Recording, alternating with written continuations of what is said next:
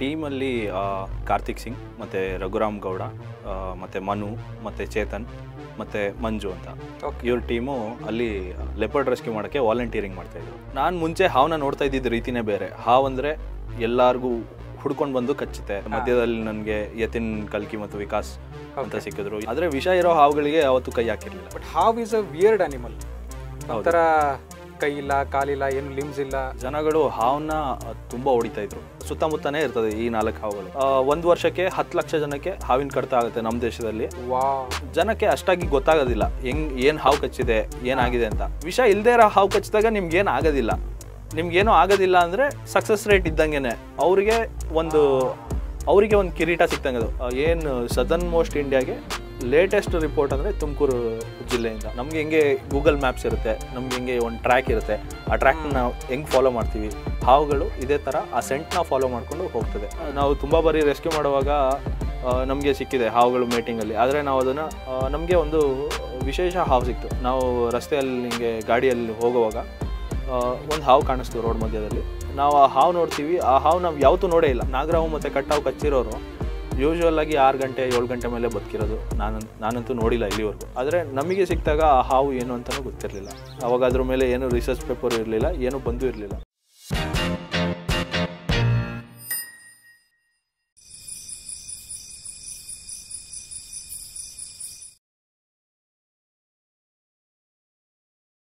Hello ಎಲ್ರಿಗೂ ನಮಸ್ಕಾರ. Welcome to jungles whisper ನಾವಿವತ್ತು ಒಂದು ಡಿಫ್ರೆಂಟ್ ಲೊಕೇಶನಿಗೆ ಬಂದಿದ್ದೀವಿ.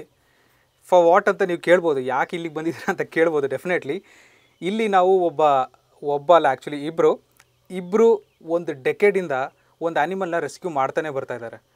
ಹೆಂಗೆ ಅಂತಂದರೆ ಒಂದೊಂದು ವೀಕೆಂಡಲ್ಲಿ ನಲ್ವತ್ತರಿಂದ ಐವತ್ತು ರೆಸ್ಕ್ಯೂ ಕಾಲ್ಸ್ ಆ ಆ್ಯನಿಮಲಿಂದು ರೆಸ್ಕ್ಯೂ ಕಾಲ್ಸ್ ಬರ್ತಾಯಿತ್ತು ಊಟ, ತಿಂಡಿ ಬಿಟ್ಟು ಇವರು ರೆಸ್ಕ್ಯೂ ಕಾಲ್ಸ್ಗೆ ಹೋಗ್ತಾಯಿದ್ರು ನೀವು ಜಸ್ಟ್ ಇಮ್ಯಾಜಿನ್ ಮಾಡ್ಕೊಳ್ಳಿ, ನಲ್ವತ್ತರಿಂದ ಐವತ್ತು ರೆಸ್ಕ್ಯೂ ಕಾಲ್ಸ್ ಅಂತಂದರೆ ಇಟ್ಸ್ ನಾಟ್ ಈಸಿ ಹೆಂಗೆ ಒಬ್ಬರು ಅಥವಾ ಇಬ್ಬರು ಒಂದು ಸಿಟಿ ಲೈಕ್ ಒಂದು ಜಯನಗರ ಅಥವಾ ಒಂದು ಜೆ ಪಿ ನಗರ ಅಂದ್ಕೊಳ್ಳಿ ಬೆಂಗಳೂರಲ್ಲಿ, ಅಥವಾ ದಾವಣಗೆರೆ ಅಂತ ಒಂದು ಸಿಟಿ ಅಂದ್ಕೊಳ್ಳಿ ತುಮಕೂರು ಹತ್ರ ಒಂದು ಸಿಟಿ ಅಂದ್ಕೊಳ್ಳಿ ಒಂದು ಸಿಟಿ ತುಂಬ, ಒಂದು ಇಡೀ ವೀಕೆಂಡು ಒಂದು ಆ್ಯನಿಮಲ್ನ ಅವ್ರು ರೆಸ್ಕ್ಯೂ ಮಾಡ್ತಾನೆ ಹೋಗಬೇಕು.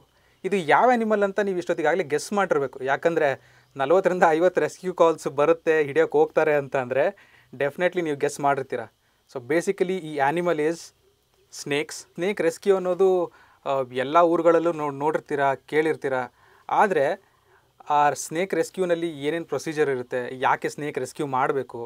ಆ್ಯಂಡ್ ಕೆಲವೊಂದು ಸತಿ ಸ್ನೇಕ್ ರೆಸ್ಕ್ಯೂ ಮಾಡೋ ಅವಶ್ಯಕತೆಯೂ ಇರಲ್ಲ. ಯಾಕೆಂದರೆ ಆ ಹಾವು ನಾನ್ ವೆನಮಸ್ ಆಗಿರುತ್ತೆ ಅದೇ ರೀಜನಿಂದ ಆಗಿರುತ್ತೆ. ಆ್ಯಂಡ್ ಇನ್ನೂ ಹಲವಾರು ನಮಗೆ ನಿಮಗೆ ಗೊತ್ತಿರೋ ಎಷ್ಟೊಂದು ವಿಷಯಗಳು ಹಾವುಗಳ ಬಗ್ಗೆ ಇದ್ದಾವೆ ಇನ್ ಡೆಪ್ತಾಗಿ ನಾವು ಈ ಪಾಡ್ಕಾಸ್ಟಲ್ಲಿ ಮಾತಾಡೋಣ. ನಮ್ಮ ಜೊತೆ ಇದ್ದಾರೆ ಇವತ್ತು ಸಚಿನ್ ಅಂತ. And Sachin is wild life enthusiast ನಾ ಹೇಳಿದ್ನಲ್ಲ ಆಲ್ಮೋಸ್ಟ್ ಒಂದು ಹತ್ತು ವರ್ಷಕ್ಕಿಂತ ಜಾಸ್ತಿಯಿಂದ ಸ್ನೇಕ್ ರೆಸ್ಕ್ಯೂ ಮಾಡ್ತಾನೆ ಇದ್ದಾರೆ ಆ್ಯಂಡ್ ಅವರು ನಾನು ವೈಲ್ಡ್ ಲೈಫ್ ಈ ವೈಲ್ಡ್ ಲೈಫ್ ಡೊಮೈನಲ್ಲಿ ನಾನು ಏನಾದರೂ ಮಾಡಲೇಬೇಕು ಅಂತ ಇರೋ ಒಬ್ಬ ಪರ್ಸನ್ ನನಗೆ ಈ ಕಾಂಟ್ಯಾಕ್ಟ್ ಸಿಕ್ಕಿದ್ದು ಥ್ರೂ ಯತಿನ್ ಆ್ಯಂಡ್ ವಿಕಾಸ್ ಅಂತ. ಆ್ಯಂಡ್ ಮನೋಹರ್ ಒಬ್ಬರು ಈ ಕನೆಕ್ಷನಲ್ಲಿ ಒಬ್ಬರು ನೆಟ್ವರ್ಕಿಂಗ್ ಪಾಯಿಂಟ್ ಸೊ ಅವರು ಬರ್ತಾರೆ ಮುಂದೆ ಪಾಡ್ಕಾಸ್ಟಲ್ಲಿ ಬರ್ತಾರೆ ಅವರು. So welcome to the podcast thank you ಹಾವುಗಳ ಬಗ್ಗೆ ನಮಗೆ ಮತ್ತು ನಮ್ಮ ಪ್ರೇಕ್ಷಕರಿಗೆ ಜಾಸ್ತಿ ತಿಳ್ಕೊಳಕ್ಕೆ ತಿಳಿಸ್ಕೊಡೋಕ್ಕೆ ಟ್ರೈ ಮಾಡಿ. And let's keep it simple okay ನಮ್ಮ ನಾರ್ಮಲ್ ಟು ನಾರ್ಮಲ್ ಜನ ಜೊತೆಗೆ ಮಕ್ಕಳು ಕೂಡ ಅರ್ಥ ಮಾಡ್ಕೋಬೇಕು. ಯಾಕೆಂದರೆ ಇವಾಗ ಮಕ್ಕಳು ಕಲ್ತ್ರೇ ಅವ್ರು ನೆಕ್ಸ್ಟ್ ನೇಚರ್ನ ಸೇವ್ ಮಾಡೋದು. ಸೊ ನೀವು ನಿಮ್ಮ ಬ್ಯಾಕ್ಗ್ರೌಂಡ್ ಬಗ್ಗೆ ಹೇಳಿ. ನೀವು ಯಾವಾಗಿಂದ ಸ್ಟಾರ್ಟ್ ಮಾಡಿದ್ರಿ? ಯಾಕೆ ಫಸ್ಟ್ ಆಫ್ ಆಲ್ ಸ್ಟಾರ್ಟ್ ಮಾಡಿದ್ದಿದ್ನ ನಾನು ತುಮಕೂರಿನಲ್ಲೇ ಹುಟ್ಟು ಬೆಳೆದಿರೋವಂಥ ಹುಡುಗ. ನಾನು ಚಿಕ್ಕವನಿಂದ ನಾನು ಈ ಹಾವುಗಳನ್ನ ಅಥವಾ ಈ ಆ್ಯನಿಮಲ್ಸ್ನ ನೋಡ್ ನೋಡ್ತಾನೆ ಬೆಳೆದಿದ್ದೀನಿ. ಯಾಕಂದರೆ ಮೊದಲನೇದಾಗಿ ನಮ್ಮ ನನಗೆ ಇಂಟ್ರೆಸ್ಟ್ ಬರ್ಸಿದ್ದು ನಮ್ಮ ತಂದೆಯವರು. ಅವರು ಕರ್ನಾಟಕ ಫಾರೆಸ್ಟ್ ಡಿಪಾರ್ಟ್ಮೆಂಟಲ್ಲಿ ಡೆಪ್ಟಿ ಕನ್ಸರ್ವೇಟರ್ ಆಫ್ ಫಾರೆಸ್ಟ್ಸ್ ಆಗಿ ಕೆಲಸ ಮಾಡ್ತಾಯಿದ್ರು. ಅವರು ಅವರು ಮಾಡ್ತಾ ಇದ್ದಿದ್ದು ಕಾರ್ಯ ನನಗೆ ತುಂಬ ಇಷ್ಟ ಆಯಿತು ಚಿಕ್ಕ ಹುಡುಗನಿಂದ. ನಾನೇನಾದರೂ ಆ್ಯನಿಮಲ್ಸ್ನ ನೋಡ್ತಾ ಇದ್ದೆ ಅಷ್ಟೇ ಅವ್ರ ಜೊತೆ ಹೋಗ್ಬಿಟ್ಟು. ಆದರೆ ಅವರು ಏನು ಎಫರ್ಟ್ ಆಗ್ತಾಯಿದ್ರು ಆ್ಯನಿಮಲ್ ಕನ್ಸರ್ವೇಷನ್ಗೆ ಅಂತ ನಾನು ಬೆಳೀತಾ ಬೆಳೀತಾ ಈ ಫೀಲ್ಡಲ್ಲಿ ತುಂಬ ಇದು ತುಂಬ ಮುಂದೆ ಬರ್ತಾ ಬರ್ತಾ ನೋಡೋಕ್ಕೆ ಸ್ಟಾರ್ಟ್ ಮಾಡಿದೆ. ಸುಮಾರು ಅದು ಎರಡು ಸಾವಿರದ ಹದಿಮೂರರಲ್ಲಿ ನನಗೆ ನಮ್ಮ ತಂದೆ ಜೊತೆ ಒಂದು ಚಿರತೆ ರಕ್ಷಣೆ ಅಂತ ಹೋಗಿದ್ವಿ. ಅದು ಬಾವಿಯಲ್ಲಿ ಬಿದ್ದಿತ್ತು ತಿಪ್ಟೂರ್ ಅಂತ ಒಂದು ಊರಿದೆ. ಆ ಊರ ಹತ್ರ ಬಾವಿಯಲ್ಲಿ ಚಿರತೆ ಬಿದ್ದಿತ್ತು. ಓಕೆ. ಅಲ್ಲಿ ನಾನು ನಮ್ಮ ತಂದೆ ಜೊತೆ ಆ ಚಿರತೆ ರಕ್ಷಣೆ ನೋಡೋಕ್ಕೆ ಹೋದಾಗ ಅಲ್ಲಿ ಒಂದು ಟೀಮ್ ಇತ್ತು. ಆ ಟೀಮಲ್ಲಿ ಕಾರ್ತಿಕ್ ಸಿಂಗ್ ಮತ್ತು ರಘುರಾಮ್ ಗೌಡ ಮತ್ತು ಮನು ಮತ್ತು ಚೇತನ್ ಮತ್ತು ಮಂಜು ಅಂತ. ಓಕೆ ಇವ್ರ ಟೀಮು ಅಲ್ಲಿ ಲೆಪರ್ಡ್ ರೆಸ್ಕ್ಯೂ ಮಾಡೋಕ್ಕೆ ವಾಲಂಟಿಯರಿಂಗ್ ಮಾಡ್ತಾಯಿದ್ರು ಓಕೆ ನಾನು ನಮ್ಮ ಅಪ್ಪನ ಹತ್ರ ಕೇಳ್ತಾ ಇದ್ದೆ ಇವರೆಲ್ಲ ಯಾ ನಮ್ಮ ತಂದೆ ಹತ್ರ ಕೇಳ್ತಾ ಇದ್ದೆ ಇವರೆಲ್ಲ ಯಾರು? ಇವರೆಲ್ಲ ಏನು ಮಾಡ್ತಾ ಇದ್ದಾರೆ ಆಗ ನಮ್ಮ ತಂದೆ ಹೇಳಿದೇನೆಂದರೆ ಇವರು ನಿನ್ನ ಥರನೇ ವೈಲ್ಡ್ ಲೈಫ್ ಮೇಲೆ ತುಂಬ ಇಷ್ಟ ಇರೋರು ತುಂಬ ವರ್ಷದಿಂದ ಈ ಥರ ಕನ್ಸರ್ವೇಷನ್ ಕೆಲಸ ಸಂರಕ್ಷಣಾ ಕೆಲಸಗಳನ್ನ ಮಾಡ್ಕೊಂಡು ಬರ್ತಾ ಇದ್ದಾರೆ. ಇವ್ರ ಜೊತೆ ಹೋದರೆ ನಿನಗೆ ಸ್ವಲ್ಪ ಒಳ್ಳೆಯದು ಅಂತ ಹೇಳಕ್ಕೆ ಸ್ಟಾರ್ಟ್ ಮಾಡಿದ್ರು. ನಾನು ಅದಾದಮೇಲೆ ಅವ್ರನ್ನ ಕಾಂಟ್ಯಾಕ್ಟ್ ಮಾಡಿದೆ. ಕಾರ್ತಿಕ್ ಸಿಂಗ್ ಅಣ್ಣ ಇದ್ದಾರೆ ಅವ್ರಿಗೆ ಕಾಂಟ್ಯಾಕ್ಟ್ ಮಾಡಿ ನಾನು ಕೇಳಿದೆ. ನನಗೆ ಈ ಥರ ಹಾವುಗಳು ಕಲಿಬೇಕಂತ ಇಷ್ಟ. ಆದರೆ ನಂಗೆ ತುಂಬ ಭಯ ಅಂತ. ಯಾಕಂದರೆ ನಾನು ನಾನು ನೋಡಿರೋ ತ ನನಗೆ ಹಾವು ಅಂದರೆ ಸಿಕ್ಕಾಪಟ್ಟೆ ಭಯ ಮುಂಚೆ. ನಾನು ಇವತ್ತು ಅಲ್ಲಿ ಏನಾದರೂ ಹಾವು ನೋಡಿದ್ರೆ ಒಂದು ಜಾಗದಲ್ಲಿ ಆ ದಾರಿಗೆ ಹೋಗ್ತಾ ಇರಲಿಲ್ಲ. ಒಂದು ಎರಡು ಮೂರು ದಿನ ಅಥವಾ ಒಂದು ವಾರ ಆಗಿರ್ಬೋದು. ಅದು ಆದ್ಮೇಲೆ ನಾನು ಇವ್ರ ಜೊತೆಯಲ್ಲಿ ಯಾವಾಗ ಇವರು ಉರಗ ಸಂರಕ್ಷಣೆಗೆ ಎಲ್ಲಿ ಸಿಟಿಯಲ್ಲೆಲ್ಲ ಓಡಾಡಿಕೊಂಡು ಸ್ನೇಕ್ ಎಲ್ಲ ರೆಸ್ಕ್ಯೂ ಮಾಡುವಾಗ ಇವ್ರ ಜೊತೆಯಲ್ಲಿ ಹೋಗ್ತಾ ಇದ್ದೆ. ನಾನು ಮುಂಚೆ ಹಾವನ್ನ ನೋಡ್ತಾ ಇದ್ದಿದ್ದ ರೀತಿನೇ ಬೇರೆ. ಹಾವು ಅಂದ್ರೆ ಎಲ್ಲರಿಗೂ ಹುಡ್ಕೊಂಡು ಬಂದು ಕಚ್ಚುತ್ತೆ. ಸುಮ್ಮನೆ ಹೋಗ್ತಾ ಇದ್ರು ಕಚ್ಚುತ್ತೆ. ಹಾವು ಅಂದ್ರೆ ಏನೋ ಒಂಥರ ವಿಯರ್ಡ್ ಯಾಕಂದ್ರೆ ಅದು ಅದು ಓಡಾಡೋ ಅದ್ರ ಚಲನವಲನ ಇದಿರ್ಬೋದು. ರೀತಿ ಇರ್ಬೋದು. ಅದನ್ನೆಲ್ಲ ನೋಡಿದಾಗ ನನಗೆ ಸ್ವಲ್ಪ ಗಾಬರಿ ಆಗೋದು ಭಯ ಆಗೋದು ಹಾವು ನೋಡ್ತಿದ್ದಂಗೆ. ಆದರೆ ನಾನು ಸುಮಾರು ಒಂದು ವರ್ಷ ಇವ್ರ ಜೊತೆ ಅಲ್ಲಿ ಹಿಂಗೆ ಅವ್ರು ಹೋಗ್ತಾ ಇದ್ದಿದ್ದ ರೆಸ್ಕ್ಯೂಗಳಿಗೆ ಜೊತೆಯಲ್ಲಿ ಕರ್ಕೊಂಡು ಹೋಗೋರು. ರೆಸ್ಕ್ಯೂ ಮಾಡ್ಲಿಕ್ಕೆ ಕೊಡ್ತಾ ಇರಲಿಲ್ಲ. ಅವ್ರ ಜೊತೆಯಲ್ಲಿ ಕರ್ಕೊಂಡೋಗಿ ತೋರಿಸೋರು ಈ ಥರ ಇರುತ್ತೆ ರೆಸ್ಕ್ಯೂಸ್ ಅಂತ. ಅದನ್ನ ನೋಡಾದ್ಮೇಲೆ ನನಗೆ ಹಾವಿನ ಮೇಲೆ ಇದ್ದಿದ್ದು ಒಂದು ಪರ್ಸ್ಪೆಕ್ಟಿವೇ ಚೇಂಜ್ ಆಗೋಯ್ತು. ಓ ಅಲ್ವಾ? ಹಾವು ಅಂದರೆ ಯಾವತ್ತೂ ಯಾರಿಗೂ ತೊಂದರೆ ಮಾಡಲ್ಲ. ಅದ್ರ ಪಾಡಿಗೆ ಅದಿರುತ್ತೆ ಅದಕ್ಕೆ ನಾವೇನಾದ್ರು ತೊಂದರೆ ಕೊಟ್ಟರೆ ನಮಗೆ ಅದು ತೊಂದರೆ ಮಾಡುತ್ತೆ ಅಂತ ಗೊತ್ತಾಯ್ತು ನನಗೆ. ಅಲ್ಲಿವರೆಗೂ ನನ್ನ ನನ್ನ ಕಲ್ಪನೆ ಹೆಂಗಿತ್ತಂದರೆ ಹಾವಂದರೆ ಯಾರು ನೋಡಿದ್ರೆ ಅವ್ರಿಗೆ ಹುಡ್ಕೊಂಡೋಗಿ ಕಚ್ಚೋದು ಅಷ್ಟೇ. ಅವರು ಇವಾಗ ಫಿಲಮಲ್ಲೆಲ್ಲ ತೋ ಸಿನಿಮಾಗಳಲ್ಲೆಲ್ಲ ತೋರಿಸಿರ್ತಾರೆ. ಹಾವು ಅಂದರೆ ಹಿಂಗೆ ಒಂದು ಸತಿ ನೀವು ಅದನ್ನ ನೋಡಿಬಿಟ್ರೆ ಅದು ನೆನ್ಪಿಟ್ಕೊಂಡು ಬಂದು ನಿಮ್ಗೆ ಕಚ್ಚೋದು. ಆ ಥರ ಎಲ್ಲ ಕಾನ್ಸೆಪ್ಟ್ಸ್ ಇರುತ್ತೆ. ಆದರೆ ನಾನು ಈ ಟೀಮ್ ಜೊತೆ ಹೋಗೋಕ್ಕೆ ಸ್ಟಾರ್ಟ್ ಮಾಡಿದಾಗ ನನಗೆ ಹಾವಿನ ಮೇಲೆ ತುಂಬ ಕಲಿಯೋಕ್ಕೆ ಆಯಿತು. ಆಮೇಲೆ ಒಂದು ವರ್ಷ ಆದಮೇಲೆ ನಾನು ಸ್ನೇಕ್ ರೆಸ್ಕ್ಯೂ ಮಾಡೋಕ್ಕೆ ಸ್ಟಾರ್ಟ್ ಮಾಡಿದೆ ಎರಡು ಸಾವಿರದ ಹದಿನೈದಿಂದ ಓಕೆ. ಎರಡು ಸಾವಿರದ ಹದಿನಾಲ್ಕರಲ್ಲಿ ಈ ವಿಷ ಇಲ್ಲದೆ ಇರೋ ಹಾವುಗಳನ್ನ ರೆಸ್ಕ್ಯೂ ಮಾಡ್ತಾ ಇದ್ದೆ. ಆದರೆ ವಿಷ ಇರೋ ಹಾವುಗಳಿಗೆ ಅವತ್ತು ಕೈ ಹಾಕಿರಲಿಲ್ಲ. ಯಾಕಂದರೆ ಅಷ್ಟು ಕಾನ್ಫಿಡೆನ್ಸ್ ಬರಬೇಕು ಒಬ್ಬ ಒಬ್ಬ ಮನುಷ್ಯನಿಗೆ. ಹಾವು ಜೊತೆ ಅಡ್ಜಸ್ಟ್ ಆಗಿ ಕಾನ್ಫಿಡೆನ್ಸ್ ಬಂದರೆ ಮಾತ್ರ ರೆಸ್ಕ್ಯೂ ಮಾಡೋಕ್ಕೆ ಸಹಾಯ ಆಗುತ್ತೆ. ಸೊ ಆ ಕಾನ್ಫಿಡೆನ್ಸ್ನ ನನಗೆ ಈ ವಾರ್ಕೋ ಅಂತ ಏನು ತಂಡ ಇದೆ. ಫೌಂಡೇಶನ್ ಫೌಂಡೇಶನ್ ಏನಿದೆ. ಅವರು ನಮಗೆ ಈ ಕಾನ್ಫಿಡೆನ್ಸ್ನ ತಂದುಕೊಟ್ರು. ಅದಾದಮೇಲೆ ನಾನು ಎಲ್ಲೋ ಯಾವುದೋ ಫೀಲ್ಡಲ್ಲಿ ಕಂಟಿನ್ಯೂ ಆಗ್ತೀನಿ ಅಂತ ಅಂದ್ಕೊಂಡಿದ್ದೆ ಅದಾದಮೇಲೆ ವೈಲ್ಡ್ ಲೈಫ್ ಮೇಲೆ ಕಂಪ್ಲೀಟಾಗಿ ಇಂಟ್ರೆಸ್ಟ್ ಬಂತು. ಸೊ ನಾನು ಅವತ್ತು ಡಿಸೈಡ್ ಮಾಡಿಕೊಂಡೆ. ಏನೋ ಮಾಡಿದ್ರೆ ವೈಲ್ಡ್ ಲೈಫಿಗೆ ಮಾಡ್ಬೇಕು ನಾನು. Okay full time wild life ಮಾಡಬೇಕಂತ.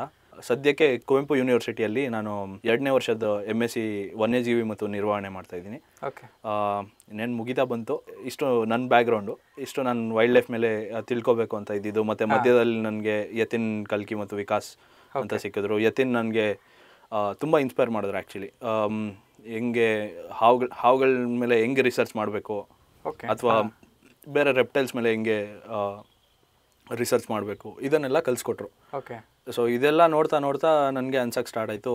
ನನಗೆ ಈ ಕೆಲಸ ಮಾಡಿದ್ರೆ ವನ್ಯಜೀವಿ ಅಂದಮೇಲೆ ಸಾಕಷ್ಟು ಇರುತ್ತೆ ಅದರಲ್ಲೂ ಹೌದು ನಿಜ. ಈಗ ವನ್ಯಜೀವಿ ಅಂತಿದ್ದಂಗೆ ಹಾವು ಅಂತಾನೆ ಅಲ್ಲ ವನ್ಯಜೀವಿ ಒಂದು ಈ ಮರ ಗಿಡ ಏನಿದೆ ನಮ್ಮ ಸುತ್ತಮುತ್ತ ಅದೆಲ್ಲ ವನ್ಯಜೀವಿ ಇದರಲ್ಲೇ ಬರುತ್ತೆ ಅಂಡರಲ್ಲೇ ಬರುತ್ತೆ. ಆದರೆ ನಾನು ನನಗೆ ಅನಿಸಿದ್ದು ನಾನು ಹಾವುಗಳ ಮೇಲೆ ತುಂಬ ಕೆಲಸ ಮಾಡಬೇಕು ಇನ್ನು ಸಾಕಷ್ಟು ಜನಕ್ಕೆ ಅವೇರ್ನೆಸ್ ಕೊಡಬೇಕು ಹಾವುಗಳ ಮೇಲೆ. ಅಥವಾ ಹಾವಿನ ಹಾವಿನ ಚಲನವಲನದ ಬಗ್ಗೆ ಸ್ಟಡಿ ಮಾಡಬೇಕು. ಅಥವಾ ಅದ್ರ ಬಗ್ಗೆ ಅಧ್ಯಯನ ಮಾಡಬೇಕು ಅಂತ ಅನ್ಸಕ್ಕೆ ಸ್ಟಾರ್ಟ್ ಆಯಿತು. ಸೊ ನಾನು ಅದಕ್ಕೋಸ್ಕರ ಹಾವುಗಳ ಸಂಶೋಧನೆ ಮತ್ತು ಕನ್ಸರ್ವೇಷನ್ ಮೇಲೆ? ಸಂರಕ್ಷಣೆ ಮೇಲೆ ತುಂಬ ಕಾನ್ಸಂಟ್ರೇಟ್ ಮಾಡ್ತಾ ಇದ್ದೀನಿ. ಓಕೆ. ಆ್ಯಕ್ಚುಲಿ ನೀವು ಹತ್ರ ಹತ್ರ ಈ ಟೂ ತೌಸಂಡ್ ಟ್ವೆಂಟಿ ಫೋರ್ ಅಂದರೆ ಹತ್ತು ವರ್ಷ ಆಗ್ತಾ ಬಂತು. ಹೌದು. ಆ್ಯಂಡ್ ಒಂದು ವೈಲ್ಡ್ ಆ್ಯನಿಮಲ್ ಅಂತ ತೊಗೊಂಡ್ರೆ ಇವಾಗ ಹುಲಿ ಚಿರತೆ ಅಂತಂದರೆ ನಾರ್ಮಲ್ ಎಲ್ಲ ನಾರ್ಮಲ್ ಜನಗಳಿಗೆ ಒಂದು ಅರ್ಥ ಆಗುತ್ತೆ ಓಕೆ ನಾಲ್ಕು ಕಾಲಿದೆ ಆ್ಯಂಡ್ ಬಾಲ ಇದೆ ಕಣ್ಣಿದೆ ಓಕೆ ಅಲ್ಲಿ ಹೋಗ್ತಾ ಇದೆ. ಆ್ಯಂಡ್ ಅದ್ರ ಅದ್ರ ಬಗ್ಗೆ ಕಲಿಯೋಕೆ ಇಷ್ಟಪಡ್ತಾರೆ ಕೆಲವರು. ಬಟ್ ಹಾವ್ ಈಸ್ ಅ ವಿಯರ್ಡ್ ಆ್ಯನಿಮಲ್ ಒಂಥರ ಕೈ ಇಲ್ಲ ಕಾಲಿಲ್ಲ ಏನು ಲಿಮ್ಸ್ ಇಲ್ಲ. ಆ್ಯಂಡ್ ಇಟ್ ಈಸ್ ಭಾಳ ವಲ್ನರಬಲ್ ಆಲ್ಸೋ. ಆ ಕಾಲು ಕೈ ಇಲ್ದಿರೋ ಕಾರಣ ಇಟ್ ಈಸ್ ಭಾಳ ವಲ್ನರಬಲ್ ಸೊ ಇವಾಗ ನೀವು ಎರಡು ಸಾವಿರದ ಹದಿನಾಲ್ಕರಲ್ಲಿ ರೆಸ್ಕ್ಯೂ ಮಾಡೋಕ್ಕೆ ಸ್ಟಾರ್ಟ್ ಮಾಡಿದ್ರಲ್ಲ ಮೇ ಬಿ ಹದಿನೈದರಲ್ಲಿ ವೆನಮಸ್ ಕೂಡ ಸ್ಟಾರ್ಟ್ ಮಾಡಿದ್ರಿ. ಹೌದು. ಇವಾಗ ಎರಡು ಸಾವಿರದ ಇಪ್ಪತ್ನಾಲ್ಕು ಅಲ್ಲಿಂದ ಇಲ್ಲಿಗೆ ಈ ಮೈಂಡ್ ಶಿಫ್ಟ್ ಹೆಂಗಿದೆ ಜನದ್ದು? ನಾವು ಮುಂಚೆ ಎಲ್ಲ ನೋಡ್ತಾ ಇದ್ದಾಗ ಜನಗಳು ಹಾವನ್ನ ತುಂಬ ಹೊಡಿತಾ ಇದ್ರು. ಅಂದ್ರೆ ಈಗ ನಾವೆಲ್ಲಾದರೂ ರೆಸ್ಕ್ಯೂ ಅಂತ ಹೋದಾಗ ಅರ್ಧ ದಾರಿಗೆ ಹೋದ್ಮೇಲೆ ಫೋನ್ ಮಾಡೋರು ಮನೆಯಿಂದ. ಸರ್ ಯಾರೋ ಬಂದ್ರು ನಮ್ಮ ಮನೆ ಹತ್ರ ಯಾರೋ ಕೆಲಸ ಮಾಡ್ತಾ ಇದ್ರು ಹಾವನ್ನ ಹೊಡೆದ್ಬಿಟ್ರು. ಬರಕ್ ಹೋಗ್ಬೇಡಿ ಅಂತ. ಆಮೇಲೆ ಜನಗಳಿಗೆ ಅಷ್ಟು ಅರಿವಿರಲಿಲ್ಲ. ಹಾವುಗಳು ಹೇಗೆ ಏನು ಮಾಡ್ತದೆ ಅಂತ. ಅದಾದ್ಮೇಲೆ ಈಗ ಸಾಕಷ್ಟು ಜನ ಅದ್ರದ್ದು ಅವೇರ್ನೆಸ್ ಕೊಡ್ತಾ ಇದ್ದಾರೆ. ಅಂದ್ರೆ ಜಾಗೃತಿ ಮೂಡಿಸ್ತಾ ಇದ್ದಾರೆ ಹಾವಿನ ಬಗ್ಗೆ. ಅದೆಲ್ಲ ಆದ್ಮೇಲೆ ಎರಡ್ ಸಾವಿರದ ಇಪ್ಪತ್ತ ನಾಲ್ಕುವರೆಗೂ ನಾನು ನೋಡಿದ ಹೆಂಗೆ ಅಂದ್ರೆ ಫಸ್ಟು ಹಾವುಗಳನ್ನ ಹೊಡಿತಾ ಇದ್ರು. ಇವಾಗ ಜನ ಹಾವುಗಳಿಗೆ ಜಾಗ ಮಾಡ್ಕೊಡ್ತಾ ಇದ್ದಾರೆ. ಹೋಗ್ಲಿ ಅದು ಹೋಗ್ಲಿ. ಅದನ್ನು ಎಲ್ಲಾದರೂ ಹಿಂಗೆ ಯಾರ್ದಾದ್ರು ಮನೆಯಲ್ಲಿ ಬಂದಿದ್ರೆ ಮುಂಚೆ ಥರ ಹೊಡೆ ಹೊಡೆಯಲ್ಲ ರೆಸ್ಕ್ಯೂರ್ ಬರೋವರೆಗೂ ವೆಯ್ಟ್ ಮಾಡ್ತಾರೆ. ಈಗ ನಮ್ಗೆ ಕಾಲ್ ಮಾಡಿಬಿಟ್ಟು ಅವರು ವೆಯ್ಟ್ ಮಾಡ್ತಾರೆ. ಹಾವಿದೆ ಹಾವಿದೆ ಇಲ್ಲಿ. ಬನ್ನಿ ಸರ್ ನಾವು ನೋಡ್ಕೊಳ್ತಾ ಇದ್ದೀವಿ ನಾವು ಕೇಳ್ತೀವಿ ಅವ್ರಿಗೆ. ಕಾಲ್ ಮಾಡಿದಾಗ ಎಲ್ಲಿದೆ ಹಾವು? ಇನ್ ಕೇಸ್ ಹೊರಗಡೆ ಎಲ್ಲಾದರೂ ಹಾವಿದ್ರೆ ನಾವು ಅದನ್ನು ಮುಟ್ಟೋದು ಇಲ್ಲ. ಯಾಕಂದ್ರೆ ಹೊರಗಡೆ ಅದ್ರ ಆವಾಸ ಸ್ಥಾನದಲ್ಲಿ ಹಾವು ಓಡಾಡ್ತಾ ಇದೆ. ಅದನ್ನ ಮುಟ್ಟಿದ್ರೆ ತಪ್ಪಾಗುತ್ತೆ. ಅದನ್ನ ಹಿಡಿಯೋ ಅವಶ್ಯಕತೆ ಇರಲ್ಲ. ಹಿಂಗಾಗಿ ನಾವು ಕೇಳ್ಕೊಳ್ತೀವಿ ಎಲ್ಲ ಫಸ್ಟು ಮುಂಚೆ ಇಷ್ಟು ಪೇಷನ್ಸ್ ಇರ್ತಾ ಇರಲಿಲ್ಲ ಜನಕ್ಕೆ. ಮುಂಚೆ ಜನ ಒಂದ್ ಒಂದ್ಸತಿ ಫೋನ್ ಮಾಡಿಬಿಟ್ಟು ಹಾವಿಡಿಯಕ್ಕೆ ಬನ್ನಿ ಅಂತ ಹೇಳೋರು. ಅದಾದ್ಮೇಲೆ ಮತ್ತೆ ಕಾಲ್ ಮಾಡೋರು. ಎಲ್ಲಿದ್ದೀರಾ? ಬೇಗ ಬನ್ನಿ ಅಂತ. ಈಗ ನಿಮಗೆ ಗೊತ್ತಿರುತ್ತೆ ಸಿಟಿ ಅಂದಮೇಲೆ ಎಷ್ಟು ಟ್ರಾಫಿಕ್ ಇರುತ್ತೆ. ಅಷ್ಟನ್ನೆಲ್ಲ ಅಷ್ಟು ಮಧ್ಯದಲ್ಲೆಲ್ಲ ನಾವು ಅದನ್ನೆಲ್ಲ ದಾಟ್ಕೊಂಡು ಹೋಗ್ಬೇಕು. ಮತ್ತೆ ಸಿಟಿಯಲ್ಲಿ ಟ್ರಾಫಿಕ್ ರೂಲ್ಸ್ ಎಲ್ಲ ಇರುತ್ತೆ. ಅದನ್ನೆಲ್ಲ ಜಂಪ್ ಮಾಡ್ಕೊಂಡು ಹೋಗೋಕ್ಕಾಗಲ್ಲ ರೆಸ್ಕ್ಯೂ ಅಂದಮೇಲೆ. ಸೊ ನಾವು ಅದನ್ನೆಲ್ಲ ನೋಡ್ಕೊಂಡು ಹೋಗುವಾಗ ಮುಂಚೆ ಕಾಯ್ತಾ ಇರಲಿಲ್ಲ ಜನ. ಈಗ ಈಗ ತುಂಬಾ ಚೇಂಜ್ ಆಗಿದೆ. ತುಂಬಾ ತುಂಬ ಎಷ್ಟು ಚೇಂಜ್ ಆಗಿದೆ ಅಂದ್ರೆ ಜನ ವೆಯ್ಟ್ ಮಾಡ್ತಾರೆ. ಈಗ ಒಂದು ಹತ್ತು ನಿಮಿಷ ಲೇಟ್ ಆದ್ರೂ ಕೇಳ್ತಾರೆ ಸರ್ ಇನ್ನೂ ಎಷ್ಟು ದೂರ ಇದ್ದೀರಾ? ಬರ್ತಿದ್ದೀರಾ? ಎಲ್ಲ ಕೇಳ್ತಾರೆ. ಮತ್ತೆ ಜನಗಳು ಹಾವನ್ನ ಹೊಡೆಯೋದು ತುಂಬಾ ಕಮ್ಮಿ ಮಾಡಿದ್ದಾರೆ. ಮತ್ತೆ ಮುಂಚೆ ಹೊಡಿತಾ ಇದ್ದಿದ್ದು ಜನಕ್ಕೆ ಅದೇನಾಯ್ತು ಗೊತ್ತಿಲ್ಲ. ಆ ಥರ ಧೈರ್ಯ ಮಾಡಿ ಹಾವನ್ನ ಹೊಡೆಯೋರು ಇಲ್ಲ ಈಗ. ಎಲ್ಲರಿಗೂ ಹಾವನ್ನ ಆಯ್ತು ಹಾವು ಅಂತ ಹೇಳಿದ್ರೆ ಓ ಇದನ್ನು ಉಳಿಸ್ಬೇಕು. ಇದು ನಮ್ಮ ಇಕೋಸಿಸ್ಟಮ್ ಅಲ್ಲಿ ಒಂದು ರೋಲ್ ಪ್ಲೇ ಮಾಡುತ್ತೆ. ಇದನ್ನು ಇರಬೇಕು ಅಂತ ಹೇಳ್ಬಿಟ್ಟು. ಈಗ ಹಾವನ್ನ ಸಂರಕ್ಷಣೆ ಮಾಡೋಕ್ಕೆ ನಾನು ನೋಡ್ತಾ ಇದ್ದಂಗೆ ಜನ ತುಂಬ ಚೇಂಜ್ ಆಗಿದ್ದಾರೆ. ಮುಂಚೆ ತರ ಇಲ್ಲ. ಮುಂಚೆ ರೆಸ್ಕ್ಯೂ ಕಾಲ್ ಅನ್ನೋದು ಇರಲೇ ಇಲ್ಲ. ಮೇ ಬಿ ಕಂಡ ತಕ್ಷಣ ಏನೋ ಸಾಯಿಸ್ತಿದ್ರು. ಹೋಗ್ತಾ ಹೋಗ್ತಾ ಮಧ್ಯದಲ್ಲಿ ರೆಸ್ಕ್ಯೂ ಕಾಲ್ ಅಂದರೆ ಒಬ್ರಿಗೆ ರೆಸ್ಕ್ಯೂ ಮಾಡೋರಿಗೆ ಫೋನ್ ಮಾಡೋಕ್ಕೆ ಸ್ಟಾರ್ಟ್ ಮಾಡಿದ್ರು. ಸೊ ಇವಾಗ ಹೆಂಗಿದೆ? Most of the time call ಮಾಡ್ತಾರಾ ಅಥವಾ ಇನ್ನೂ ಹೊಡೆಯೋದು ಇದೇನಾ? ಪಾಸಿಬಿಲಿಟೀಸ್ ಇದೇನಾ? ಸಿಟೀಸ್ ಅಥವಾ ಹಳ್ಳಿಗಳ ಕಂಡು ಕನ್ಸಿಡರ್ ಮಾಡಿದ್ರೆ? ಹಳ್ಳಿಗಳ ಕಡೆ ಆದ್ರೆ ಜನ ಹೊಡೆದ್ಬಿಡ್ತಾರೆ. ಇವಾಗಲೂ? ಇವಾಗ್ಲೂ ಅಂದ್ರೆ ಅಲ್ಲಿ ಮನೆಗಳು ಪಕ್ಕಪಕ್ಕದಲ್ಲೇ ಇರುತ್ತೆ. ಒಬ್ರಿಗೊಬ್ರು ಗೊತ್ತಿರ್ತಾರೆ. ಮುಖ ಕೊಟ್ಟು ಮಾತಾಡ್ತಾ ಇರ್ತಾರೆ ಹೇಳ್ತಾರೆ ಏನೋ ಸಮಸ್ಯೆ ಬಂದ್ರೆ ಇಲ್ಲಿ ಹಾವಿದೆ ಹೊಡೀರಿ ಅಂತ. ಸಿಟಿಯಲ್ಲಿ ಹಂಗಿರೋದಿಲ್ಲ. ಸಿಟಿಯಲ್ಲಿ ಎಲ್ಲೆಲ್ಲಿಂದನೋ ಜನ ಬಂದಿರ್ತಾರೆ ಎಲ್ಲೆಲ್ಲೋ ಇರ್ತಾರೆ. ಅವರಿಗೆ ಹೊಡಿಬೇಕಂತ ಅನ್ಸಿದ್ರು ಅಷ್ಟು ಧೈರ್ಯ ಇರೋದಿಲ್ಲ. ಹಳ್ಳಿ ಜನ ಆದ್ರೆ ಅವ್ರು ನೋಡ್ತಾನೆ ಇರ್ತಾರೆ ಹಾವು ಬೇರೆ ಪ್ರಾಣಿಗಳೆಲ್ಲ ದಿನನಿತ್ಯ ನೋಡ್ತಾ ಇರ್ತಾರೆ. ಅವ್ರಿಗೆ ಆ ಥರ ಏನು ಮನೋಭಾವನೆ ಇರಲ್ಲ ಉಳಿಸ್ಬೇಕು ಇದನ್ನೇನು ಉಳಿಸ್ಬೇಕು ಅಂತ. ಆದ್ರೆ ಸಿಟಿ ಜನಗಳು ತುಂಬಾ ಹೆದರುತ್ತಾರೆ ಹಾವು ಹಾವು ಹೊಡಿಯಕ್ಕೆ. ಸೊ ಒಂದ್ ಕಡೆ ಈ ಸಿಟಿ ಜನದ ಕಡೆ ಇರೋ ಭಯ ಇಂದ ರಕ್ಷಣೆ ರಕ್ಷಣೆ ಆಗ್ತಾ ಇದೆ. ಬಟ್ ಹಳ್ಳಿಗಳ ಕಡೆ ಅವೇರ್ನೆಸ್ ಇಲ್ಲದೆ ಇರೋ ಕಾರಣ ಇನ್ನೂ ಸಾಯ್ತಾ ಇದಾವೆ ಅಂತ ಹೇಳ್ಬೋದು. ಹೌದು. ಇವಾಗ ನಮ್ಮ ದೇಶದಲ್ಲಿ ಬಿಗ್ ಫೋರ್ ಅಂತ ಕರೀತಾರೆ ನಾನು ಓದಿರೋ ಪ್ರಕಾರ. ಈ ಬಿಗ್ ಫೋರ್ ಇಂದು ಸ್ನೇಕ್ ಎಕಾಲಜಿ ಏನು? ಅಂದ್ರೆ ಇವಾಗ ವೆನಮಸ್ ಇದೆ ನಾನ್ ವೆನಮಸ್ ಕೂಡ ಇದೆ. ಇಂಡಿಯಾದಲ್ಲಿ ಬಹಳಷ್ಟಿದೆ ನಮ್ಮ ಭಾರತ ದೇಶದಲ್ಲಿ ನಾನ್ನೂರು ಮೂವತ್ತಕ್ಕಿಂತ ಹೆಚ್ಚು ಜಾತಿ ಹಾವುಗಳಿದೆ. ನಮ್ಮ ಕರ್ನಾಟಕ ತಗೊಳ್ಳೋದಾದ್ರೆ ನಮ್ಮ ಕರ್ನಾಟಕದಲ್ಲಿ ತೊಂಬತ್ನಾಲ್ಕು ಜಾತಿ ಹಾವುಗಳಿದೆ. ಓಕೆ. ಅದರಲ್ಲಿ ನಾಲ್ಕು ಮಾತ್ರ ಮನುಷ್ಯರು ಎಲ್ಲಿ ಮನುಷ್ಯರು ವಾಸ ಮಾಡ್ತಾರೆ. ಮನುಷ್ಯರು ಆವಾಸ ಸ್ಥಾನದ ಪಕ್ಕದಲ್ಲೇ ಓಡಾಡ್ತಾ ಇರ್ತಾರೆ. ಅಂದರೆ ಮನುಷ್ಯರು ಎಲ್ಲಿ ವಾಸ ಮಾಡ್ತಾರೆ ಅವರು ಸುತ್ತಮುತ್ತನೇ ಇರ್ತದೆ ಈ ನಾಲ್ಕು ಹಾವುಗಳು. ಈಗ ನಿಮಗೆ ಎಕ್ಸಾಂಪಲ್ ತಗೊಳ್ಳೋದಾದರೆ ಕಾಳಿಂಗ ತುಂಬ ರೇರ್ ಚಾನ್ಸಸ್ ದೊಡ್ಡ ಹಾವು ಜನ ನೋಡ್ತಿದಂಗೆ ನೋಟಿಸ್ ಮಾಡ್ಬಿಡ್ತಾರೆ. ಈ ನಾಲ್ಕು ಹಾವುಗಳು ಅಷ್ಟು ದೊಡ್ಡದಿರೋದಿಲ್ಲ. ಗಾತ್ರದಲ್ಲಿ ಅಷ್ಟು ದೊಡ್ಡದಿರೋದ ಜನಕ್ಕೆ ಕಾಣಿಸೋದು ಇಲ್ಲ. ಮತ್ತೆ ಅದು ಇವಾಗ ಈ ಹಾವುಗಳು ಜನರು ಸುತ್ತಮುತ್ತನೇ ಇರಬೇಕು ಅಂದ್ರೆ ಅವ್ರ ಸರೌಂಡಿಂಗ್ಸಿಗೆ ಬ್ಲೆಂಡ್ ಆಗೋವಂಥ ಅಡಾಪ್ಟೇಷನ್ ಇದೆ ಹಾವುಗಳಲ್ಲಿ. ಓಕೆ. ಈಗ ನಿಮಗೆ ಇನ್ ಕೇಸ್ ಹೇಳೋದಾದ್ರೆ ಫಾರ್ ಎಕ್ಸಾಂಪಲ್ ಈಗ ಒಂದು ಕೊಳುಕ್ ಮಂಡ್ಲ. ಅಂದ್ರೆ ರಸಲ್ ವೈಪರ್ ಅಂತ ಕರೀತಾರೆ ಇಂಗ್ಲೀಷ್ನಲ್ಲಿ. ಆ ಕೊಳಕ್ ಮಂಡ್ಲ ಈಗ ಎಲ್ಲಾದ್ರೂ ಸೌದೆ ಮಧ್ಯದಲ್ಲಿ ಕೂತಿದ್ರೆ ಕಾಣಿಸೋದೇ ಇಲ್ಲ. ಯಾಕಂದ್ರೆ ಕೊಳಕ್ ಮಂಡ್ಲ ಬ್ರೌನ್ ಕಲರ್ ಇರುತ್ತೆ ಸೌದೆನೂ ಬ್ರೌನ್ ಇರುತ್ತೆ. ಸೊ ಈ ಸಿಟಿ ಮತ್ತೆ ಜನದ ಸಂಪರ್ಕದಲ್ಲಿ ಬರೋ ಹಾವುಗಳು ಆಲ್ಮೋಸ್ಟ್ ಈ ಸರೌಂಡಿಂಗಿಗೆ ಅಡ್ಜಸ್ಟ್ ಆಗಿರ್ತವೆ. ಅಂದರೆ ಈ ಸರೌಂಡಿಂಗಿಗೆ ಬ್ಲೆಂಡ್ ಆಗಿರ್ತವೆ. ಮತ್ತು ಈ ಬಿಗ್ ಫೋರೂ ಅಷ್ಟೇ. ಈಗ ಬಿಗ್ ಫೋರ್ ಎಕ್ಸಾಂಪಲ್ ತೊಗೊಳೋದಾದರೆ ಈಗ ನಮ್ಮ ಮೊದಲನೇದಾಗಿ ಸ್ಪೆಕ್ಟಕಲ್ ಕೋಬ್ರಾ ಬರುತ್ತೆ. ಆ, ನಾಗರ ಹಾವು ಅಂತ ಕನ್ನಡದಲ್ಲಿ ಕರಿತೇವೆ ಅದಕ್ಕೆ. ಎರಡನೇದಾಗಿ ಕಾಮನ್ ಕರೇಟ್ ಅಂತ ಬರುತ್ತೆ. ಅದಕ್ಕೆ ಕಟ್ ಹಾವು ಅಂತ ಕರಿತೀವಿ. ಮೂರನೇದಾಗಿ ರಸಲ್ ಸ್ವೈಪರ್ ಅಂತ ಬರುತ್ತೆ. ಅದಕ್ಕೆ ಕೊಳಕ್ಮಂಡ್ಲ ಅಂತಾನು ಕರಿತೀವಿ. ಮತ್ತು ಫೋರ್ತ್ ನಾಲ್ಕನೇದಾಗಿ ಸಾಸ್ಕೇಲ್ಡ್ ವೈಪರ್ ಅಂತ ಬರುತ್ತೆ. ಅದಕ್ಕೆ ಗರ್ಗಸ ಮಂಡಲ ಅಂತ ಕರೀತಾರೆ ಉರಿ ಮಂಡಲ ಅಂತ ಕರೀತಾರೆ.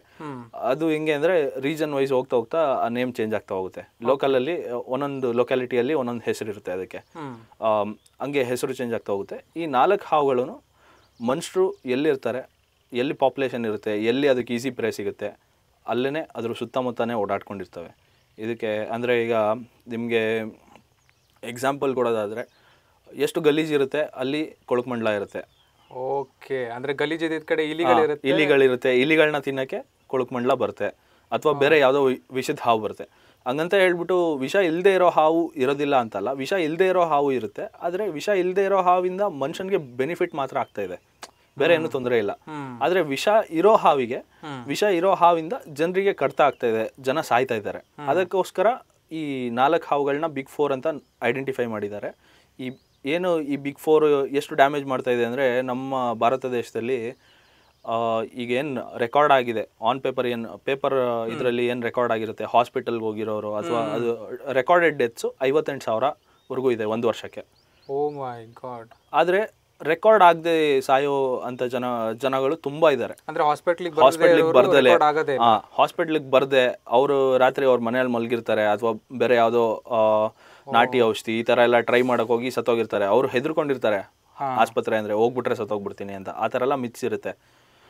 ಹಂಗ್ ಸತ್ತಿರೋರು ತುಂಬಾ ಜನ ಇರ್ತಾರೆ. ಅಂದ್ರೆ ಐವತ್ತೆಂಟು ಸಾವಿರ ನಂಬರ್ ಅದು ಅದು ಚಿಕ್ಕ ಚಿಕ್ಕ ಚಿಕ್ಕ ನಂಬರ್ ಅನ್ಸುತ್ತೆ. ಬಟ್ ಆದ್ರೆ ಒಂದ್ ವರ್ಷಕ್ಕೆ ಹತ್ತು ಲಕ್ಷ ಜನಕ್ಕೆ ಹಾವಿನ ಕಡಿತ ಆಗುತ್ತೆ ನಮ್ಮ ದೇಶದಲ್ಲಿ. ಹತ್ತು ಲಕ್ಷ ಜನದಲ್ಲಿ ಐವತ್ತೆಂಟು ಸಾವಿರ ಜನ ಸಾಯ್ತಾರೆ. ಅದರಲ್ಲಿ ಸುಮಾರು ಒಂದು ಲಕ್ಷ ಎಂಬತ್ತು ಸಾವಿರ ಜನವರೆಗೂ ಅವ್ರಿಗೆ ಕೈ ಅಥವಾ ಕಾಲು ಏನೋ ಒಂದು ತೆಗೆದಿರ್ತಾರೆ ಹಾವಿನ ಕಡತ ಆಗಿ ವಿಷ ವಿಷದ ಹಾವಿನ ಕಡತ ಆಗಿ ಡಿಸೇಬಲ್ಡ್ ಆಗಿರ್ತಾರೆ ಡಿಸೇಬಲ್ಡ್ ಆಗಿರ್ತಾರೆ. ಆ್ಯಂಡ್ ಆರ್ಗನ್ ಆರ್ಗನ್ ಫೇಲ್ಯೂರನು ಆಗಿರುತ್ತೆ. ಇಂಟರ್ನಲ್ ಏನು ಡ್ಯಾಮೇಜ್ ಆಗಿರುತ್ತೆ? ಯಾರಿಗೂ ಗೊತ್ತಿರೋದಿಲ್ಲ. ಲೈಫ್ ಲಾಂಗ್ ಇರುತ್ತೆ. ಅದು ಯಾವತ್ತೋ ಒಂದಿನ ಗೊತ್ತಾಗುತ್ತೆ ಏನಾಗಿದೆ ಅಂತ. ಓಕೆ. ಆ್ಯಂಡ್ ನೀವು ಹೇಳ್ತಾ ಇದ್ರಿ ವೆನಮಸ್ ಜೊತೆಗೆ ನಾನ್ ವೆನಮಸ್ ಕೂಡ ನಮ್ಮ ಸಿಟಿಗಳು ಅಥವಾ ವಿಲೇಜ್ಗಳ ಮಧ್ಯ ಇದೆ ಅಂತೇಳಿ. ಬಟ್ ಈ ಜನಕ್ಕೆ ಹಾವು ಕಡ್ದಾಗ ಅದು ಯಾವ ಹಾವು ಅಂತ ಹೆಂಗೆ ಕಂಡುಹಿಡಿತಾರೆ ಈಗ ಜನಕ್ಕೆ ಅವೇರ್ನೆಸ್ ಇದೆನಾ ಇವಾಗ ಇದು ವಿಷ ವಿಷಪೂರಿತ ಹಾವು ಅಥವಾ ವಿಷರಹಿತ ಹಾವು ಅಂತ? ಆ, ಜನಗಳಿಗೆ ಸಾಮಾನ್ಯವಾಗಿ ಅಷ್ಟಾಗಿ ಗೊತ್ತಾಗೋದಿಲ್ಲ. ಅವರು ಹಾವಿನ ಕಡ್ತ ನೋಡ್ತಿದ್ದಂಗೆ ಅವರಿಗೆ ಈ ವಿಷದ ಹಾವುಗಳಲ್ಲಿ ಎರಡು ವಿಷದ ಹಲ್ಲಿರುತ್ತೆ ಎರಡು ಮುಖ್ಯವಾಗಿರುವಂಥ ವಿಷದ ಹಲ್ಲಿರುತ್ತೆ ಆ ಎರಡು ನಮ್ಮ ಸಿರಿಂಜ್ ಹೆಂಗಿರುತ್ತೆ ಸೂಜಿ ಹೆಂಗಿರುತ್ತೆ ಆ ಥರ ಇರುತ್ತೆ. ಆ ಥರ ಎರಡು ಮಾರ್ಕ್ ಅಕಸ್ಮಾತ್ ಕೈ ಮೇಲೆ ಬಿದ್ದಿದ್ರೆ ಜನ ಅಲ್ಲಿಗೆ ಈಸಿಯಾಗಿ ಅನ್ಕೊಳ್ತಾರೆ ಮತ್ತೆ ಬ್ಲಡ್ ಬ್ಲೀಡ್ ಆಗ್ತಾ ಇರುತ್ತೆ ಆ ಕಚ್ಚಿದ ಜಾಗದಲ್ಲಿ ಉಂಡಿರುತ್ತೆ ಇರುತ್ತೆ. ಅದನ್ನ ನೋಡಿದಾಗ ಜನಕ್ಕೆ ಅನ್ಸುತ್ತೆ ಓ ಇದು ವಿಷದ ಹಾವು ಕಚ್ಚಿದೆ ಅಂತ. ಕೆಲವೊಮ್ಮೆ ವಿಷ ಇಲ್ಲದೆ ಇರೋ ಹಾವುಗಳಿಗೆ ಈಗ ತೋಳದ ಹಾವು ತಗೊಂಡ್ರೆ ಅದಕ್ಕೂ ಎರಡು ಹಲ್ ಮೇಲ್ಗಡೆ ಇರುತ್ತೆ. ಅದ್ ಕಚ್ಚಿದಾಗ್ಲೂ ಅದೇ ತರ ಮಾರ್ಕಿಂಗ್ಸ್ ಇರುತ್ತೆ. ಸೊ ಜನಕ್ಕೆ ಅಷ್ಟಾಗಿ ಗೊತ್ತಾಗೋದಿಲ್ಲ ಹೆಂಗ್ ಏನ್ ಹಾವು ಕಚ್ಚಿದೆ ಏನಾಗಿದೆ ಅಂತ. ಅದಕ್ಕಾಗಿ ನಾವು ಹೇಳೋದೇನಂದ್ರೆ ಇನ್ ಕೇಸ್ ಏನಾದರೂ ಹಾವು ಕಚ್ಚಿದೆ ಅಂತ ಅನ್ಸಿದ್ರೆ ತಕ್ಷಣ ಜನ ಆಸ್ಪತ್ರೆಗೆ ಹೋದ್ರೆ ಆಸ್ಪತ್ರೆಯಲ್ಲಿ ಸುಮಾರಷ್ಟು ಟೆಸ್ಟ್ಗಳು ಮಾಡ್ತಾರೆ. ಈಗ ಬ್ಲಡ್ ಕ್ಲಾಟ್ ಟೆಸ್ಟ್ ಇದೆಲ್ಲ ಮಾಡ್ತಾರೆ. ಅಬ್ಸರ್ವ್ ಮಾಡ್ತಾರೆ. ಅಬ್ಸರ್ವ್ ಮಾಡ್ತಾರೆ. ಅವ್ರನ್ನ ಅಬ್ಸರ್ವೇಷನ್ ಅಲ್ಲಿ ಇಟ್ಟು ಅವ್ರ ಬ್ಲಡ್ ಟೆಸ್ಟ್ ಎಲ್ಲ ಮಾಡಿದಾಗ ಅವ್ರಿಗೆ ಗೊತ್ತಾಗುತ್ತೆ. ವಿಷ ವಿಷದ ಹಾವು ಕಚ್ಚಿದ್ಯಾ ಏನು ಕಚ್ಚಿದೆ ಅಂತ. ಸೊ ನಾನು ಹೇಳೋದೇನೆಂದರೆ ರಿಸ್ಕ್ ತಗೊಳ್ಳದೆ ಜನ ಆಸ್ಪತ್ರೆಗೆ ಹೋಗಿ ಒಮ್ಮೆ ತೋರಿಸಿದ್ರೆ ಡಾಕ್ಟರ್ ಹತ್ರ ಜೀವನೂ ಉಳಿಯುತ್ತೆ ಎಲ್ಲಾನು ಸರಿ ಹೋಗುತ್ತೆ. ಸೊ ಯಾವುದೇ ಹಾವಿರ್ಲಿ ಸೊ ನಿಮಗೆ ಯಾವುದೇ ಯಾವ್ದು ವೆನಮಸ್ ಯಾವುದು ನಾನ್ ವೆನಮಸ್ ಯಾವುದು ಅಂತ. ಹಾವು ಇನ್ ಕೇಸ್ ಏನಾದರೂ ಕಚ್ಚಿದ್ರೆ ಇಮಿಡಿಯೇಟ್ ಹಾಸ್ಪಿಟ್ಲಿಗೆ ಹೋಗ್ಬೇಕು. ಹೌದು. ಅಂಡ್ ನಾ ಈ ಬಾಬಾ ಗೀಬಾ ಆದ್ರೆ ಇವರು ಕೆಲವೊಂದ್ ಕಡೆ ಕೇಳಿದೀನಿ ಜನ ಹಾಸ್ಪಿಟ್ಲ್ಗಿಂತ ಇವ್ರ ಹತ್ರನೇ ಹೋಗಕ್ಕೆ ಇಷ್ಟಪಡ್ತಾರೆ. ಅಂಡ್ ಅವರು ಕೂಡ ಸಕ್ಸಸ್ ರೇಟ್ ಜಾಸ್ತಿ ಇದೆ ಈಗ ನಾನು ನಾನ್ ಹೇಳ್ದಂಗೆ. ನಿಮಗೆ ನಮ್ಮ ಕರ್ನಾಟಕದಲ್ಲಿ ತೊಂಬತ್ನಾಲ್ಕು ಜಾತಿ ಹಾವುಗಳಿದೆ. ತೊಂಬತ್ನಾಲ್ಕು ತೊಂಬತ್ನಾಲ್ಕಿಂತ ಹೆಚ್ಚು ಇರ್ಬೋದು. ತೊಂಬತ್ನಾಲ್ಕು ಜಾತಿ ಹಾವಲ್ಲಿ ನಿಮಗೆ ಎಲ್ಲ ಹಾವು ವಿಷದ ಹಾವೇ ಕಚ್ಚಿರಬೇಕು ಅಂತ ಇಲ್ಲ. ಹೌದು. ಎಲ್ಲ ಹಾವು ವಿಷದ ಹಾವೇ ಕಚ್ಚಿರಬೇಕು ಅಂತ ಇಲ್ಲ. ಅಥವಾ ನಮ್ಮ ನಮ್ಮ ತುಮಕೂರು ಜಿಲ್ಲೆ ತಗೊಳ್ಳೋದಾದರೆ ನಮ್ಮ ಜಿಲ್ಲೆಯಲ್ಲಿ ನಲವತ್ತರಿಂದ ನಲವತ್ತೆರಡು ಜಾತಿ ಹಾವಿದೆ. ಆ ಹಾವಲ್ಲಿ ಎಲ್ಲ ಹಾವು ವಿಷಕಾರಿ ಹಾವೇ ಅಲ್ಲ. ನಮ್ಮಲ್ಲಿ ನಾಲ್ಕು ಹಾವಿದೆ. ಅದನ್ನು ಬಿಟ್ಟು ಇನ್ನು ಮಿಕ್ಕಿದ್ದು ಯಾವುದೂ ಮನುಷ್ಯರಿಗೆ ಅಂಥ ತೊಂದರೆ ಕೊಡೋದಿಲ್ಲ. ಓಕೆ. ನಮ್ಮ ಜಿಲ್ಲೆ ತಗೊಳ್ಳೋದಾದರೆ ಜನಗಳಿಗೆ ಇವರು ಬಾಬಾ ಹತ್ರ ಹೋಗ್ತಾರಲ್ಲ. ನನಗೆ ನನಗೆ ಗೊತ್ತಿರೋ ಮಟ್ಟಿಗೆ ಆ ಥರ ಮಾಡಬಾರ್ದು. ಯಾಕೆಂದರೆ ಈಗ ನಿಮಗೆ ವಿಷ ನಿಮ್ಮ ರಕ್ತದ ಒಳಗೆ ಹೋಗಿರುತ್ತೆ. ನಿಮ್ಮ ರಕ್ತನಾಳಗಳನ್ನ ಸೇರ್ಕೊಂಡು ಹೋಗಿರುತ್ತೆ. ಅಥವಾ ನಿಮ್ಮ ನರ್ವ್ಸ್ ಒಳಗೆ ಇಂಜೆಕ್ಟ್ ಎಲ್ಲೋ ಇಂಜೆಕ್ಟ್ ಆಗಿರುತ್ತೆ. ನೀವು ಬಾಬಾ ಹತ್ರ ಹೋದರೆ ಬಾಬಾ ಬರೀ ನಿಮಗೆ ಎಕ್ಸ್ಟರ್ನಲ್ ಮೆಡಿಸಿನ್ ಮಾತ್ರ ಅಪ್ಲೈ ಮಾಡ್ತಾರೆ. ಅಂದರೆ ಆಚೆಗಡೆ ಸೊಪ್ಪು ಅದೆಲ್ಲ ರುಬ್ಬಿಟ್ಟು ಆಚೆ ಮಾತ್ರ ಹಾಕ್ತಾರೆ. ಅದು ಒಳಗೆ ಹೋಗೋದಿಲ್ಲ. ರಕ್ತದ ಒಳಗೆ ಸೇರಿರೋ ವಿಷಯಕ್ಕೆ ನೀವು ಯಾವಾಗ್ಲೂ ಒಂದು ಪ್ರಾಥಮಿಕ ಚಿಕಿತ್ಸಾ ಕೇಂದ್ರ ಅಥವಾ ಒಂದು ಒಳ್ಳೆ ಆಸ್ಪತ್ರೆ ಅಲ್ಲಿ ನೀವು ಭೇಟಿ ಭೇಟಿ ನೀಡಿದ್ರೆ ಅವಾಗ ಮಾತ್ರ ರಕ್ತದ ಒಳಗಡೆ ಇರೋ ವಿಷನ ತೆಗಿಯೋಕ್ಕೆ ಸಾಧ್ಯ. ಹಂಗೆ ನಾನು ಹೇಳ್ದಂಗೆ ಈಗ ನೋಡಿ ಈ ಬಿಗ್ ಫೋರ್ ಅಂತ ಏನು ಹೇಳ್ತಾರೆ ಆ ಬಿಗ್ ಫೋರೇ ಎಲ್ಲರಿಗೂ ಕಚ್ಚಬೇಕಂತ ಇರಲ್ಲ. ಬಿಗ್ ಫೋರ್ ಅಲ್ಲದೆ ನಾನ್ ವೆನಮಸ್ ಹಾವು ಅಂದರೆ ವಿಷರಹಿತ ಹಾವುಗಳು ಕಚ್ಚಿರುತ್ತೆ. ಜನ ಬಾಬನ ಹತ್ರ ಹೋಗಿರ್ತಾರೆ. ವಿಷ ಇಲ್ಲದೆ ಇರೋ ಹಾವು ಕಚ್ಚಿದಾಗ ನಿಮ್ಗೇನು ಆಗೋದಿಲ್ಲ. ನಿಮ್ಗೇನು ಆಗೋದಿಲ್ಲ ಅಂದರೆ ಸಕ್ಸಸ್ ರೇಟ್ ಇದ್ದಂಗೆನೆ. ಅವರಿಗೆ ಒಂದು ಅವರಿಗೆ ಒಂದು ಕಿರೀಟ ಸಿಕ್ತಂಗದು ಅದು. ನಾನು ಒಬ್ರನ್ನ ಉಳಿಸ್ತೆ ಅವ್ರು ಏನು ಬೇಕಾದ್ರೂ ಹೇಳ್ಬೋದು. ಜನಕ್ಕೇನು ಗೊತ್ತಿರೋದಿಲ್ಲ. ಹೋಗಿರೋರ ಹತ್ರ. ಇವ್ರು ಹೇಳ್ಬೋದು ನಿನಗೆ ನಾಗರಾವ್ ಕಚ್ಚಿದೆ ನಾನೇನೋ ಮೆಡಿಸಿನ್ ಕೊಟ್ಟಿದ್ದೀನಿ ನೀನು ಉಳ್ಕೊಂಡು ಬಿಟ್ಟಿದ್ಯಾ ಒಬ್ಬರು ಮನಸ್ಸಲ್ಲಿ ಆ ಥರ ಕೂರಕ್ಕೆ ಸ್ಟಾರ್ಟ್ ಆದರೆ ಅವರು ಒಂದು ನೂರು ಜನಕ್ಕೆ ಹೇಳ್ತಾರೆ ನನಗೆ ನಾಗರಾವ್ ಕಚ್ಚಿತ್ತಂತೆ ನಾನು ಇವ್ರ ಹತ್ರ ಟ್ರೀಟ್ಮೆಂಟ್ ತೊಗೊಂಡೆ ಇವ್ರು ನನ್ನನ್ನು ವಾಸಿ ಮಾಡಿಬಿಟ್ಟಿದ್ದಾರೆ ನೀವು ಹೋಗಿ ನಿಮಗೆ ಹಾವು ಕಚ್ಚಿದ್ರೆ ಇಲ್ಲೇ ಹೋಗಿ ದುಡ್ಡು ಅಷ್ಟಾಗಲ್ಲ ಮತ್ತು ಜೀವನೂ ಉಳಿಯುತ್ತೆ ಬೇಗ ಉಳಿಸ್ತಾರೆ. ಸೊ ಈ ಥರ ಕಾನ್ಸೆಪ್ಟು ಜನಗಳ ತಲೆಯಲ್ಲಿ ಬಿತ್ತಕ್ಕೆ ಸ್ಟಾರ್ಟ್ ಮಾಡಿದಾಗ ಜನಗಳಿಗೆ ಏನು ಅನಿಸುತ್ತೆ ಓ ದುಡ್ಡು ತುಂಬ ಕಮ್ಮಿ. ಅಂದ್ರೆ ನೀವು ಸರ್ಕಾರಿ ಆಸ್ಪತ್ರೆಗೆ ಹೋದ್ರೆ ನೀವು ದುಡ್ಡೇ ಕಟ್ಟೋದು ಬೇಕಾಗಿಲ್ಲ. ಯಾವುದೋ ಒಂದೆರಡು ಟೆಸ್ಟಿಗೆ ಮಾತ್ರ ದುಡ್ಡು ಖರ್ಚಾಗ್ಬೋದು. ಅದನ್ನ ಹೊರತಾಗಿ ಬೇರೆ ದುಡ್ಡೇನೂ ಖರ್ಚಾಗೋದಿಲ್ಲ. ಜನಗಳಿಗೆ ಏನು ಕಾನ್ಸೆಪ್ಟ್ ಅಂದರೆ ದುಡ್ಡು ಕಮ್ಮಿ ಆಗುತ್ತೆ ಈಸಿಯಾಗಿ ಆಗುತ್ತೆ ನೋವಾಗಲ್ಲ ಏನೇನೋ ಮಾಡಲ್ಲ ನಮಗೆ ನನ್ನ ದೇಹದ ಜೊತೆ. ಮೇಲ್ಗಡೆ ಬರೀ ಸೊಪ್ಪು ತೊಗೊಂಡು ಬರ್ತಾರೆ ಅರಿತಾರೆ ಮೇಲೆ ಸೊಪ್ಪಿಡ್ತಾರೆ ಈಸಿಯಾಗಿ ನಾವು ರಿಕವರ್ ಆಗಿಬಿಡ್ತೀವಿ ಅಂತ. ನಾನು ಹೇಳ್ದಂಗೆ ಬಿಗ್ ಫೋರ್ ಫೋರೇನೆ ಎಲ್ಲರಿಗೂ ಕಚ್ಚೋ ಚಾನ್ಸಸ್ ಇರಲ್ಲ. ಓಕೆ ಬೇಸಿಕಲಿ ಇವಾಗ ಈಗ ಮನುಷ್ಯಂಗೆ ಕಡ್ದಿದೆ ಅಂತಂದ್ರೆ ಅದು ವಿಷರಹಿತ ಹಾವು ಕಡ್ದು ಅವರು ಈ ಬಾಬಾ ಹತ್ರ ಹೋಗಿ ಓಕೆ ನಾನು ಅವ್ರು ಹೇಳ್ತಾರೆ ಓ ನಾಗರಾವ್ ಕಚ್ಚಿದೆ ನಿನಗೆ ಓಕೆ ಇದನ್ನ ಹಚ್ಕೋ ಎಲ್ಲ ಸರಿ ಆಗುತ್ತೆ ಅಂತ ಹೇಳಿ ಅವ್ರ ತಲೆಯಲ್ಲಿ ಬಿತ್ತು ಬಿಡ್ತಾರೆ ಓಕೆ ಇನ್ನು ವಿಷ ವಿಷ ಇರೋ ಹಾವೇ ಕಚ್ಚಿದ್ದು ಅಂಡ್ ಈ ಮೆಡಿಸಿನ್ ಇಂದ ಹುಷಾರಾಗಿದ್ದಾನೆ ಅದನ್ನ ಅವ್ರು ಹೋಗಿ ಸ್ಪ್ರೆಡ್ ಮಾಡ್ತಾರೆ. ಹೌದು. ಅವರು ಹೇಳ್ತಾರೆ ಜೊತೆಲಿ ಅವರು ಹೇಳ್ತಾರೆ ಈಗ ನೂರಲ್ಲಿ ಹತ್ತು ಜನಕ್ಕೆ ವಿಷಯದ ಹಾವು ಕಡ್ದಿದ್ರೆ ಹತ್ತು ಜನ ಸತ್ತಿದ್ರೆ ಅವ್ರು ಹೇಳ್ತಾರೆ ನೀವು ನಿಧಾನ ಮಾಡಿ ಕರ್ಕೊಂಡು ಬಂದ್ರಿ. ಇಲ್ಲ ನೀವು ಅವ್ರನ್ನ ನೀವು ಎಲ್ಲೋ ಬೇರೆ ಕಡೆ ಟ್ರೀಟ್ಮೆಂಟ್ ಕೊಡ್ಸಿದ್ದೀರಾ ಮುಂಚೆ ಅವ್ರಿಗೆ. ಈ ಥರ ಅವರು ಅವ್ರ ಮೇಲೆ ಇರೋ ಬ್ಲೇಮ್ನ ತೆಗೆದಾಕ್ಬಿಡ್ತಾರೆ. ಜನಕ್ಕೆ ಈಗ ಸಾವಿನ ಮಧ್ಯದಲ್ಲಿ ಹೋರಾಡುವಾಗ ಅವ್ರಿಗೇನು ಅನ್ಸುತ್ತೆ ಇವರು ಪಾಪ ಇವ್ರು ಎಫರ್ಟ್ ಹಾಕಿರ್ತಾರೆ ಬಾಬಾಗಳು ಅವ್ರೇನು ಸುಮ್ಮನೆ ಇರಲ್ಲ. ಅವರು ಕೈ ಮೇಲೆ ಎಲ್ಲ ಏನೇನೋ ಹಚ್ಚಿರ್ತಾರೆ ಗಿಡಮೂಲಿಕೆ ಎಲ್ಲ ರುಬ್ಬಿ ಹಚ್ಚಿರ್ತಾರೆ. ಹ್ಮ್. ಅವ್ರಿಗೇನು ಅನ್ಸುತ್ತೆ ಜೀವ ಹೋದ್ಮೇಲೆ ಜೀವ ಓದೋನ್ ಕಡೆ ಕಾನ್ಸಂಟ್ರೇಷನ್ ಇರುತ್ತೆ ಹೊರತು ಇವರನ್ನ ನೋಡಿದಾಗ ಅನ್ಸುತ್ತೆ ಇವರು ಟ್ರೈ ಮಾಡಿದ್ರು. ಜೊತೆಲಿ ಇವ್ರು ಬೇರೆ ಹೇಳಿರ್ತಾರಲ್ಲ ಆ, ನೀವು ಲೇಟಾಗಿ ಕರ್ಕೊಂಡು ಬಂದಿದ್ದೀರಾ ಇಲ್ಲ ಏನೋ ಮಾಡಿದ್ದೀರಾ? ಅಂತ. ಹಂಗಿದ್ದಾಗ ಜನಗಳು ಸತ್ತಿರೋರ್ನ ಕರ್ಕೊಂಡು ವಾಪಸ್ ಹೋಗಿ ಅವ್ರನ್ನ ಮುಂದಿನ ಕಾರ್ಯಗಳಲ್ಲಿ ನೋಡ್ ಬ್ಯುಸಿ ಆಗ್ತಾರೆ ಹೊರತು. ಇವ್ರ ಮೇಲೆ ಅವ್ರೇನು ಆ್ಯಕ್ಷನ್ ಆಗಲ್ಲ ಓಕೆ. ಸೊ ಇದರಿಂದ ಅಲ್ಟಿಮೇಟ್ಲಿ ನಾವೇನು ಹೇಳಕ್ ಹೊರಟಿದ್ದೀವಿ ಅಂತಂದರೆ ಒಂದು ಹಾವು ಕಚ್ಚಿದ್ರೆ it is very important nearest ಹಾಸ್ಪಿಟ್ಲಿಗೆ ಕರ್ಕೊಂಡು ಹೋಗಿ ಇವಾಗ ಗೌರ್ಮೆಂಟ್ ಹಾಸ್ಪಿಟ್ಲೇ ಆಗಬೇಕು ಪ್ರೈವೇಟ್ ಹಾಸ್ಪಿಟ್ಲೇ ಆಗಬೇಕು ಅಂತ ಏನೂ ಇಲ್ಲ ಅಲ್ವಾ? ಏನೂ ಇಲ್ಲ. ಗೌರ್ಮೆಂಟ್ ಹಾಸ್ಪಿಟಲ್ಗೆ ಹೋದರೆ ಎಲ್ಲ ಆ್ಯಕ್ಚುಲಿ ಈಗ ನಮ್ಮ ಸರ್ಕಾರ ಹೇಗಿದೆ ಅಂದರೆ ಎಲ್ಲ ಪ್ರಾಥಮಿಕ ಚಿಕಿತ್ಸಾ ಕೇಂದ್ರಗಳಲ್ಲೂ ಈ ಆ್ಯಂಟಿ ಸ್ನೇಕ್ ವೆನಮ್ನ ಇಡಬೇಕು ಅಂತ ಇದೆ. ಆದರೆ ಅದು ಎಷ್ಟು ಮಟ್ಟಿಗೆ ಆಗಿದೆ ಅಂತ ಗೊತ್ತಿಲ್ಲ. ಆದರೆ ಗೌರ್ಮೆಂಟ್ ಹಾಸ್ಪಿಟಲ್ಗೆ ಹೋದರೂ ಅಷ್ಟೇ ಪ್ರೈವೇಟ್ ಹಾಸ್ಪಿಟಲ್ಗೆ ಹೋದರೂ ಅಷ್ಟೇ. ಗೌರ್ಮೆಂಟ್ ಹಾಸ್ಪಿಟಲ್ಗೆ ಹೋದರೆ ನಿಮಗೆ ಖರ್ಚಿಲ್ಲದೆ ವಿಷನ ಹಾವಿನ ಕಡ್ತನ ಟ್ರೀಟ್ ಮಾಡ್ತಾರೆ. ಪ್ರೈವೇಟ್ ಹಾಸ್ಪಿಟಲ್ಗೆ ಯಾವಾಗ ಅಂದರೆ ನಿಮಗೆ ಅಲ್ಲಿ ಏನು ಸಿಗೋದಿಲ್ಲ. ಅರ್ಜೆಂಟಿಗೆ ಒಂದು ಪ್ರೈವೇಟ್ ಹಾಸ್ಪಿಟಲ್ ಇದೆ. ಓಕೆ. ಅವಾಗ ಮಾತ್ರ ನೀವು ಪ್ರೈವೇಟ್ ಹಾಸ್ಪಿಟಲ್ ಹೋಗ್ಬೋದು. ಅಥವಾ ನಿಮ್ಮ ಕೈಲಿ ಅಫೋರ್ಡ್ ಮಾಡೋಕ್ಕೆ ದುಡ್ಡಿದ್ರೆ. ತುಂಬ ಅಫೋರ್ಡ್ ಮಾಡೋಕ್ಕೆ ದುಡ್ಡಿದ್ರೆ ನೀವು ಪ್ರೈವೇಟ್ ಹಾಸ್ಪಿಟಲ್ಗಳನ್ನ ನೋಡ್ಬೋದು. ಓಕೆ ಸೊ ಬೇಸಿಕ್ಲಿ ನೀವು ಬಿಗ್ ಫೋರ್ ಅಂತ ಹೇಳಿದ್ರಿ. ಅದರಲ್ಲಿ ನಾಗರಾವು ಕಟ್ಹಾವು ಆಮೇಲೆ ಕೊಳಪಮಂಡ್ಲ ಗರಗಸ ಮಂಡಲ ಅಂತ ಹೇಳಿದ್ರಿ. ಹೌದು. ಇದರಲ್ಲಿ ಈ ವಿಷಯಗಳಲ್ಲಿ ಏನಾದರೂ ಬೇರೆ ಬೇರೆ ಥರ ಇದೆಯಾ ಇವಾಗ ನಾಗರಾವ್ ಕಚ್ಚಿದ್ರೆ ಒಂಥರ ಆಗುತ್ತೆ ಇಷ್ಟೊತ್ತು ಬದುಕ್ತಾರೆ ಕೊಳಕ್ಮಂಡ್ಲ ಕಚ್ಚಿದ್ರೆ ಈ ಥರ ಕೊಳತೋಗುತ್ತೆ ಇಷ್ಟು ದಿನ ಬದುಕ್ತಾರೆ ಅಂತ ಏನಾದರೂ ಇದೆಯಾ ಅದು ಹಾವು ಹಾವಿನ ಕಡಿತದ ಇಂಟೆನ್ಸಿಟಿ ಮೇಲೆ ಡಿಪೆಂಡ್ ಆಗುತ್ತೆ. ಅಂದರೆ ಎಷ್ಟು ಕಚ್ಚಿದೆ ಎಷ್ಟು ವಿಷ ಬಿಟ್ಟಿದೆ ಅನ್ನೋದ್ರ ಮೇಲೆ ಡಿಪೆಂಡ್ ಆಗುತ್ತೆ. ಮತ್ತು ಈ ಎರಡು ಈಗ ಏನು ಕಟ್ ಹಾವು ಮತ್ತು ನಾಗರಾವಲ್ಲಿ ಒಂದು ಥರದ ವಿಷ ಇರುತ್ತೆ. ಅದಕ್ಕೆ ನ್ಯೂರೋಟಾಕ್ಸಿಕ್ ವೆನಮ್ ಅಂತ ಕರೀತಾರೆ. ಓಕೆ. ಅದು ನಿಮ್ಮ ನರಮಂಡಲದ ಮೇಲೆ ಎಫೆಕ್ಟ್ ಮಾಡೋಕ್ಕೆ ಸ್ಟಾರ್ಟ್ ಮಾಡುತ್ತೆ. ಆ್ಯಂಡ್ ಅದು ತುಂಬ ಸ್ಟ್ರಾಂಗ್ ವೆನಮ್ಮು ತುಂಬ ಸ್ಟ್ರಾಂಗ್ ಇರೋ ವೆನಮ್. ಹೀಮೋಟಾಕ್ಸಿಕ್ಗೆ ಕಂಪೇರ್ ಮಾಡಿದ್ರೆ. ಹೀಮೋಟಾಕ್ಸಿಕ್ ವೆನಮ್ ಈ ವೈಪರ್ ಮತ್ತೆ ಸಾಸ್ಕೇಲ್ಡ್ ವೈ ರಸಲ್ ವೈಪರ್ ಮತ್ತೆ ಸಾಸ್ಕೇಲ್ಡ್ ವೈಪರ್ ಏನು ಹೇಳಿದೆ ಅದರಲ್ಲಿ ಹೀಮೋಟಾಕ್ಸಿಕ್ ವೆನಮ್ ಇರುತ್ತೆ. ಅದು ನ್ಯೂರೋಟಾಕ್ಸಿಕ್ಗೆ ಕಂಪೇರ್ ಮಾಡಿದ್ರೆ ಸ್ವಲ್ಪ ವೀಕರ್ ವೆನಮ್. ಓಕೆ ಈಗ ಯಾಕಂದ್ರೆ ನಾವು ನಾವು ನೋಡಿರಂಗೆ ನಾವು ನೋಡಿರಂಗೆ ಪ್ರತ್ಯಕ್ಷವಾಗಿ ಕೊಳಕ್ಮಂಡ್ಲ ಕಚ್ಚಿ ಒಂದಿನ ಉಳಿದಿರೋರು ಇದ್ದಾರೆ ಆದರೆ ನಾಗರಾವ್ ಕಚ್ಚಿ ಸುಮಾರು ಗಂಟೆಗಳಲ್ಲಿ ಹೋಗಿರೋರ್ನು ನೋಡಿದ್ದೀವಿ ನಾವು. ಸುಮಾರು ಗಂಟೆಗಳಲ್ಲಿ ಸತ್ತೋಗಿರೋರ್ನು ನೋಡಿದ್ದೀವಿ ಈಗ ಹಿಮೋಟಾಕ್ಸಿಕ್ ವೆನಮು ಸ್ವಲ್ಪ ವೀಕ್ ಇದೆ. ನ್ಯೂರೋಟಾಕ್ಸಿಕ್ ವೆನಮಿಗೆ ಕಂಪೇರ್ ಮಾಡಿದ್ರೆ ನರಕ್ಕೆನೆ ಅಟ್ಯಾಕ್ ಮಾಡುತ್ತಾ? ಇಲ್ಲ ಇದು ಹಿಮೋಟಾಕ್ಸಿಕ್ ವೆನಮು ಟಿಶ್ಯೂಸ್ ಟಿಶ್ಯೂಸ್ನ ಕೊಲ್ತಾ ಬರುತ್ತೆ. ಅಂದ್ರೆ ಸಾಯಿಸ್ತಾ ಬರುತ್ತೆ. ಹ್ಮ್. ಬ್ಲಡ್ನ ಟಿಶ್ಯೂಸ್ನ ವೀಕ್ ಮಾಡುತ್ತೆ. ಬ್ಲಡ್ನ ತಿನ್ ಮಾಡುತ್ತೆ. ಇಂಟರ್ನಲ್ ಬ್ಲೀಡಿಂಗ್ ಆಗಕ್ಕೆ ಇದು ಮಾಡುತ್ತೆ. ಓಕೆ. ಆದರೆ ನ್ಯೂರೋಟಾಕ್ಸಿಕ್ ಹಂಗಲ್ಲ. ನಿಮ್ಮ ಹಾರ್ಟ್ನ ಹಂಗೆ ಕೊಲಾಪ್ ಹಂಗೆ ಹಾರ್ಟ್ನ ನಿಲ್ಲಿಸ್ಬಿಡುತ್ತೆ ಪಟ್ಟಂತ. ಓಕೆ. ಸೊ ನಿಮಗೆ ಹಿಮೋಟಾಕ್ಸಿಕ್ ವೆನಮಲ್ಲಿ ಸುಮಾರು ಜನ ನೋಡಿತೀರ ಈಗ ಕೊಳಕು ಮಂಡಲ ಕಚ್ಚಿಸ್ಕೊಂಡು ಒಂದಿನ ಇರ್ತಾರೆ ಎರಡು ದಿನ ಇರ್ತಾರೆ. ಅದರಿಂದನೇ ನಿಮಗೆ ಗೊತ್ತಾಗುತ್ತೆ ಹಿಮೋಟಾಕ್ ಟಾಕ್ಸಿಕ್ ವೆನಮ್ ಸ್ವಲ್ಪ ವೀಕ್ ಇದೆ ನ್ಯೂರೋಟಾಕ್ಸಿಕ್ ವೆನಮ್ಗೆ ಕಂಪೇರ್ ಮಾಡಿದ್ರೆ. ಯಾಕಂದರೆ ನಾಗರಾವು ಮತ್ತು ಕಟ್ಟಾವು ಕಚ್ಚಿರೋರು ಯೂಶುವಲ್ ಆಗಿ ಆರು ಗಂಟೆ ಏಳು ಗಂಟೆ ಮೇಲೆ ಬದುಕಿರೋದು. ನಾನು ನಾನಂತೂ ನೋಡಿಲ್ಲ ಇಲ್ಲಿವರೆಗೂ. ಆ ಥರನೂ ಇನ್ ಕೇಸ್ ಬದುಕಿದ್ರೆ ಅದರಲ್ಲೂ ಎರಡು ಥರ ಬೈಟ್ಸ್ ಇರುತ್ತೆ. ಒಂದು ಡ್ರೈ ಬೈಟ್ ಇರುತ್ತೆ ಇನ್ನೊಂದು ವೆಟ್ ಬೈಟ್ ಇರುತ್ತೆ. ಡ್ರೈ ಬೈಟ್ ಅಂದರೆ ಈ ವಿಷ ಬಿಟ್ಟಿರಲ್ಲ. ಬರೀ ಒಂದು ಸ್ಕ್ರ್ಯಾಚ್ ಮಾರ್ಕ್ ಆಗಿರುತ್ತೆ. ಓಕೆ ಈಗ ಹಾವೆಲ್ಲೋ ಹೋಗ್ತಾ ಇರುತ್ತೆ. ಆಕ್ಸಿಡೆಂಟ್ ಆಗಿ ನೀವು ಅದನ್ನು ತುಳಿದ್ಬಿಟ್ಟಿರ್ತೀರ. ಅವಾಗ most of the chances dry bite ಇರುತ್ತೆ. ಯಾಕಂದರೆ ಹಾವಿಗೆ ಪಟ್ಟಂತ ಕಚ್ಚಬೇಕು ಓಡ್ಬೇಕು ತಪ್ಪಿಸ್ಕೋಬೇಕು. ಅಷ್ಟು ಮಾತ್ರ ಗೊತ್ತಿರುತ್ತೆ. ಹಾವು ಒಂದ್ಸತಿ ಸತಿ ವಿಷ ಬಿಡಬೇಕು ಆ ಥರ ಎಲ್ಲ ಕಾನ್ಸೆಪ್ಟ್ ಏನಿರಲ್ಲ. ಅವಾಗಲೂ ಬಿಡ್ಬೋದು ಆದರೆ ಮೆಜಾರಿಟಿ ಹಿಂಗೆ ಸಡನ್ ಎನ್ಕೌಂಟರ್ಸ್ ಆದಾಗ ಡ್ರೈ ಬೈಟ್ ಆಗೋ ಚಾನ್ಸಸ್ ಜಾಸ್ತಿ ಇರುತ್ತೆ. ಆ್ಯಂಡ್ ಈ ಡ್ರೈ ಬೈಟ್ ಯಾವುದೇ ಹಾವು ಆಗಿರ್ಬೋದು ಅಥವಾ ನಾಗರಾವ್ ಮಾತ್ರನ? ಎಲ್ಲ ಹಾವು.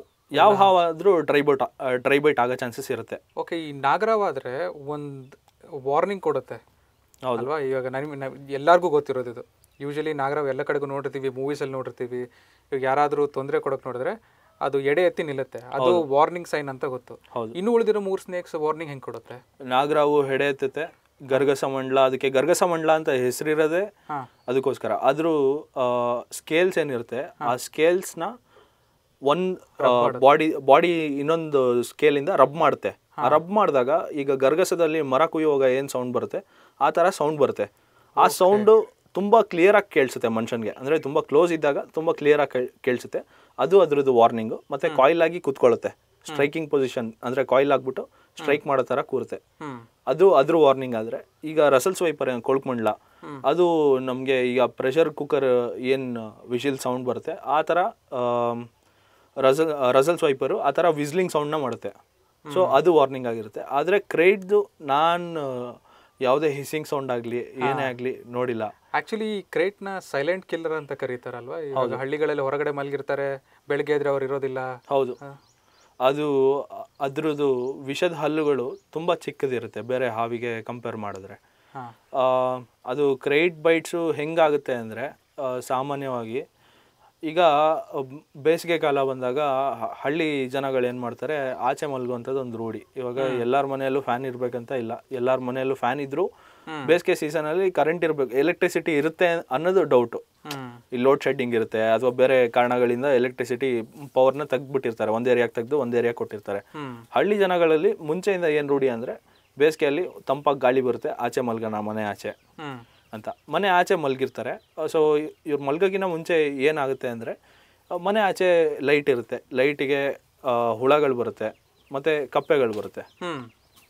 ಆ ಕಪ್ಪೆಗಳು ಈ ಹಾವುಗಳ ಆಹಾರ ಆಗಿರುತ್ತೆ. ಓಕೆ. ಈ ಕಪ್ಪೆಗಳು ಪ್ರತಿ ಬಾರಿನೂ ಜಿಗಿತಾ ಹೋದಾಗ ಅಂದರೆ ಒಂದು ಜಾಗ ಈಗ ಕಪ್ಪೆ ನಮ್ಮ ಥರ ನಡ್ಕೊಂಡು ಹೋಗೋಕ್ಕಾಗಲ್ಲ. ಅದು ಜಿಗಿತಾ ಹೋಗಬೇಕು. ಪ್ರತಿ ಬಾರಿ ಕಪ್ಪೆ ಒಂದು ಜಾಗದಿಂದ ಇನ್ನೊಂದು ಜಾಗಕ್ಕೆ ಜಿಗಿತಾ ಹೋದಾಗ ಆ ಕಪ್ಪೆಗಳಲ್ಲಿ ಒಂದು ಫಿರೋಮೋನ್ ಅಂತ ಒಂದು ಸೆಂಟ್ ಇರುತ್ತೆ ಕೆಮಿಕಲ್ ಸೆಂಟ್ ಅದು. ಆ ಸೆಂಟ್ನ ಬಿಡ್ತಾ ಹೋಗುತ್ತೆ ಸೆಂಟ್ನ ಅದು ಹಾರಿದ ಜಾಗದಲ್ಲಿ ಆ ಸೆಂಟ್ನ ಬಿಡ್ತಾ ಹೋಗುತ್ತೆ. ಅದು ನಮ್ಮ ಸ್ವೆಟ್ಟಿಂಗ್ ಇರುತ್ತೆ ಅದೇ ಥರ ಹ್ಞೂ ಈ ಸೆಂಟ್ನ ಹಾವುಗಳು ಪಿಕ್ ಮಾಡುತ್ತೆ. ಪ್ರತಿ ಬಾರಿ ನೀವು ನೋಡಿರ್ಬೋದು ಹಾವು ಈ ಅದರ ನಾಲ್ಗೆನ ತೆಗ್ದ್ಬಿಟ್ಟು ಹಿಂಗೆ ಆಚೆ ಟಂಗ್ ಫ್ಲಿಕ್ ಮಾಡ್ತಾ ಇರುತ್ತೆ. ಆ ಟಂಗ್ ಫ್ಲಿಕ್ ಏನಕ್ಕೆ ಮಾಡ್ತಾ ಇರುತ್ತೆ ಅಂದ್ರೆ ಪ್ರತಿ ಬಾರಿನೂ ಅದು ನಾಲ್ಗೆ ಆಚೆ ತೆಗೆದಾಗ ಅದ್ರ ಸುತ್ತಮುತ್ತ ಇರೋ ಏರ್ ಪಾರ್ಟಿಕಲ್ಸ್ನ ಸ್ಮೆಲ್ ಮಾಡ್ತಾ ಇರುತ್ತೆ. ಓಕೆ ಆಮೇಲೆ ಅದು ಆ ನಾಲ್ಗೆ ಒಳಗೆ ತಗೊಳ್ಳೋ ತಗೊಳ್ಳೋವಾಗ ಬಾಯಿ ಒಳಗೆ ತಗೊಳ್ಳೋವಾಗ ಬಾಯಿನ ಮೇಲ್ಗಡೆ ಭಾಗದಲ್ಲಿ ಜೇಕಬ್ಸನ್ ಆರ್ಗನ್ ಅಂತ ಒಂದು ಆರ್ಗನ್ ಇರುತ್ತೆ. ಆ ಆರ್ಗನ್ನ ಕೆಲಸ ಏನಂದರೆ ಈ ಆಚೆ ಇದ್ದಿದ್ದು ಏರ್ ಪಾರ್ಟಿಕಲ್ ಸ್ಮೆಲ್ ಮಾಡಿ ಅದಕ್ಕೆ ಒಂದು ಮಾಹಿತಿ ನೀಡುತ್ತೆ. ನನ್ನ ಆಹಾರ ಎಲ್ಲಿ ಹೋಗ್ತಾ ಇದೆ ನನ್ನ ಪ್ರೇ ಎಲ್ಲಿ ಹೋಗ್ತಾ ಇದೆ ಈ ಥರ ಮಾಹಿತಿನ ಹಾವಿನ ಇದಕ್ಕೆ ಮಿದ್ಲಿಗೆ ಕೊಡ್ತಾ ಹೋಗುತ್ತೆ. ಓಕೆ. ಇವಾಗ ಒಂದು ಕಪ್ಪೆ ಹಿಂಗೆ ಜಿಕ್ಕಂತ ಜಿಕ್ಕಂತ ಹೋಗುತ್ತೆ ಆಚೆ. ಈಗ ಮನೆ ಆಚೆ. ಜಿಕ್ಕೊಂತ ಜಿಕ್ಕೊಂತ ಹೋಗಿರುತ್ತೆ. ಆ ಕಪ್ಪೆ ಹೋಗಿ ಸುಮಾರು ಹೊತ್ತಾಗಿರುತ್ತೆ. ಆದ್ರೆ ಅದ್ರ ಸ್ವೆಟ್ಟು ಅದ್ರ ಸೆಂಟು ಆ ನೆಲದ ಮೇಲೆ ಇರುತ್ತೆ. ಓಕೆ. ಸೊ ಕಪ್ಪೆ ಹೋಗ್ಬಿಡ್ತಿ ಹೋಗ್ಬಿಟ್ಟಿರುತ್ತೆ. ಜನ ಏನು ಮಾಡ್ತಾರೆ ಚಾಪೆ ತಗೊಂಡ್ ಬರ್ತಾರೆ. ಅವ್ರು ಅದೆಲ್ಲ ಏನು ನೋಡಲ್ಲ. ಕಪ್ಪೆ ಇದ್ರೂ ಕೇರ್ ಮಾಡಲ್ಲ. ಸೈಡಿಗೆ ಓಡಿಸ್ಬಿಟ್ಟು ಚಾಪೆ ಹಾಸ್ಕೊಂಡು ಮಲ್ಕೊಂಡು ಬಿಡ್ತಾರೆ. ಈಗ ಈ ಹಾವು ಬರೋವಾಗ ಹಾವಿಗೆ ಈ ಕೆಮಿಕಲ್ ಸೆಂಟ್ನ ಹಿಡ್ದಿರುತ್ತೆ. ನಮ್ಗೆ ಹೆಂಗೆ ಗೂಗಲ್ ಮ್ಯಾಪ್ಸ್ ಇರುತ್ತೆ ನಮ್ಗೆ ಹೆಂಗೆ ಒಂದು ಟ್ರ್ಯಾಕ್ ಇರುತ್ತೆ ಆ ಟ್ರ್ಯಾಕ್ನ ನಾವು ಹೆಂಗೆ ಫಾಲೋ ಮಾಡ್ತೀವಿ ಹಾವುಗಳು ಇದೇ ಥರ ಆ ಸೆಂಟ್ನ ಫಾಲೋ ಮಾಡ್ಕೊಂಡು ಹೋಗ್ತದೆ. ಈಗ ಇನ್ ಕೇಸ್ ಅದೇ ಕಪ್ಪೆ ಮನೆ ಒಳಗೆ ಹೋಗಿದ್ರೆ ಆ ಹಾವು ಆ ಕಪ್ಪೆ ಸೆಂಟ್ ಹಿಡ್ಕೊಂಡು ಮನೆ ಒಳಗೆ ಹೋಗುತ್ತೆ. ಅಥವಾ ಅದೇ ರೀತಿ ಈ ಜನಗಳ ಆಚೆ ಮಲಗುವಾಗ ಇವ್ರು ಚಾಪೆ ಎಲ್ಲ ಹಾಸ್ಕೊಂಡಿರ್ತಾರೆ ಆದರೆ ಆ ಸೆಂಟ್ ಅಲ್ಲೇ ಇರುತ್ತೆ. ಹಾವಿನ ದಾರಿ ಅದು. ಅದಕ್ಕೇನು ಅದ್ರ ಆಹಾರನ ಬೇಟೆ ಆಡೋಕ್ಕೆ ಹುಡ್ಕೊಂಡು ಹೋಗ್ತಾ ಇರುತ್ತೆ. ಆ ಜಾಡ್ನ ಹಿಡ್ಕೊಂಡು ಹೋಗ್ತಾ ಇರುತ್ತೆ. ಆ ಜಾಡಲ್ಲಿ ಹೋಗುವಾಗ ಮನುಷ್ಯ ಮಲ್ಗಿರೋ ಮನುಷ್ಯ ಅಬ್ಸ್ಟೆಕಲ್ ಆಗಿ ಸಿಗ್ತಾನೆ. ಓಕೆ ಈಗ ನಮಗೆ ಹೆಂಗೆ ಗೂಗಲ್ ಮ್ಯಾಪ್ಸಲ್ಲಿ ಆ ಥರ ಎಲ್ಲ ಆಚೆ ಈಚೆ ನೋಡಿದಾಗ ಒಂದ್ ಸ್ವಲ್ಪ ಘಾಸಿ ಆಗುತ್ತೆ. ಅಂದ್ರೆ ಒಂದು ಏರಿಯಲ್ಲಿ ರೋಡ್ ತೋರಿಸ್ತಾ ಇರುತ್ತೆ ಅಲ್ಲಿ ನೋಡಿದ್ರೆ ರೋಡೇ ಇರಲ್ಲ. ಆ ಥರ ಘಾಸಿ ಆದಾಗ ನಾವು ಥಿಂಕ್ ಮಾಡ್ತೀವಿ ಎಲ್ಲಿ ಹೋಗ್ಬೋದು ಅಂತ. ಆದರೆ ಹಾವುಗಳಿಗೆ ಆ ಸೆಂಟು ಇನ್ನೂ ಕ್ಲಿಯರಾಗಿ ಗೊತ್ತಾಗ್ತಾನೆ ಇರುತ್ತೆ. ಆ ಚಾಪೆ ಇದ್ರೂ ಚಾಪೆ ಕೆಳಗಡೆ ಸೆಂಟ್ ಹೋಗಿರೋದು ಇರುತ್ತೆ. ಸೊ ಹಾವು ಅಲ್ಲಿ ಅದೇ ಜಾಗದಿಂದ ಹೋದ್ರೆ ಮಾತ್ರ ಅದ್ರ ಆಹಾರ ಸಿಗುತ್ತೆ. ಇಲ್ಲ ಬೇರೆ ಕಡೆ ಹೋದ್ರೆ ಅದಕ್ಕೆ ಮತ್ತೆ ಸೆಂಟ್ ಮಿಸ್ ಆಗುತ್ತೆ. ಸಿಗಲ್ಲ. ಸೊ ಆ ಜಾಗದಲ್ಲಿ ಹೋಗುವಾಗ ಮನುಷ್ಯ ಅಡ್ಡ ಇರ್ತಾನೆ ಮಲಗಿರ್ತಾನೆ. ಮನುಷ್ಯ ನಿದ್ರಾವಸ್ಥೆಯಲ್ಲಿ ಇರ್ತಾರೆ ನಿದ್ರಾವಸ್ಥೆಯಲ್ಲಿರ್ತಾರೆ ಸಾಮಾನ್ಯವಾಗಿ. ಆಮೇಲೆ ಅವ್ರದ್ದು ಕೈಯೋ. ಕೈಯೋ ಏನಾದರೂ ಹಿಂಗೆ ಚಾಚ್ಕೊಂಡು ಮಲಗಿರ್ತಾರೆ. ಮಲಗಿರ್ತಾರೆ ಅಂದರೆ ಎಲ್ಲ ಅಟೆನ್ಷನ್ ಅಲ್ಲೇ ಮಲಗಿರಲ್ಲ ಕೈಯೆಲ್ಲ ಚಾಚ್ಕೊಂಡು ಮಲಗಿರ್ತಾರೆ.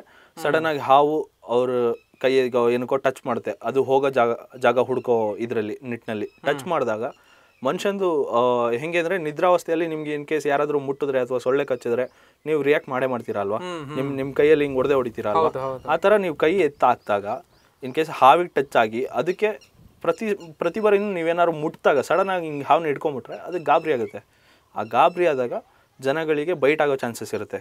ಎಸ್ಪೆಷಲಿ ಕ್ರೈಟ್ ಯಾಕಂದ್ರೆ ಅದು ನಿಶಾಚರಿ ಹಾವು. ಬೆಳಿಗ್ಗೆ ಟೈಮಲ್ಲಿ ಸಂಚಾರ ಮಾಡಲ್ಲ ರಾತ್ರಿ ಹೊತ್ತಲ್ಲಿ. ರಾತ್ರಿ ಹೊತ್ತಲ್ಲಿ. ಸೊ ಈ ಜನಗಳು ಅದು ಅಕಸ್ಮ ಅಕಸ್ಮಾ ಆಕಸ್ಮಿಕವಾಗಿ ಅದನ್ನು ಮುಟ್ಟಿದ್ರೆ ಅದು ಕಚ್ಚುತ್ತೆ. ಕಚ್ಚಾದ್ಮೇಲೆ ನಾನು ಹೇಳ್ದಂಗೆ ಅದಕ್ಕೆ ಚಿಕ್ಕ ಹಲ್ಗಳಿರುತ್ತೆ ವಿಷದ ಹಲ್ಗಳು. ಜನಕ್ಕೆ ಸೊಳ್ಳೆ ಕಚ್ಚಿದ ಥರ ಅನ್ಸುತ್ತೆ. ಮತ್ತೆ ನ್ಯೂರೋಟಾಕ್ಸಿಕ್ ವೆನಮಲ್ಲಿ ಲೋಕಲ್ ಪೇಯ್ನ್ ಇರಲ್ಲ. ಅಂದ್ರೆ ಕಚ್ಚಿದ ಜಾಗದಲ್ಲಿ ಅಷ್ಟು ಪೇಯ್ನ್ ಇರಲ್ಲ. ಹಾ. ವೆನಮ್ ಅಲ್ಲಿ ತುಂಬಾ ಪೇನ್ ಇರುತ್ತೆ ಕಚ್ಚಿದ ಜಾಗದಲ್ಲಿ.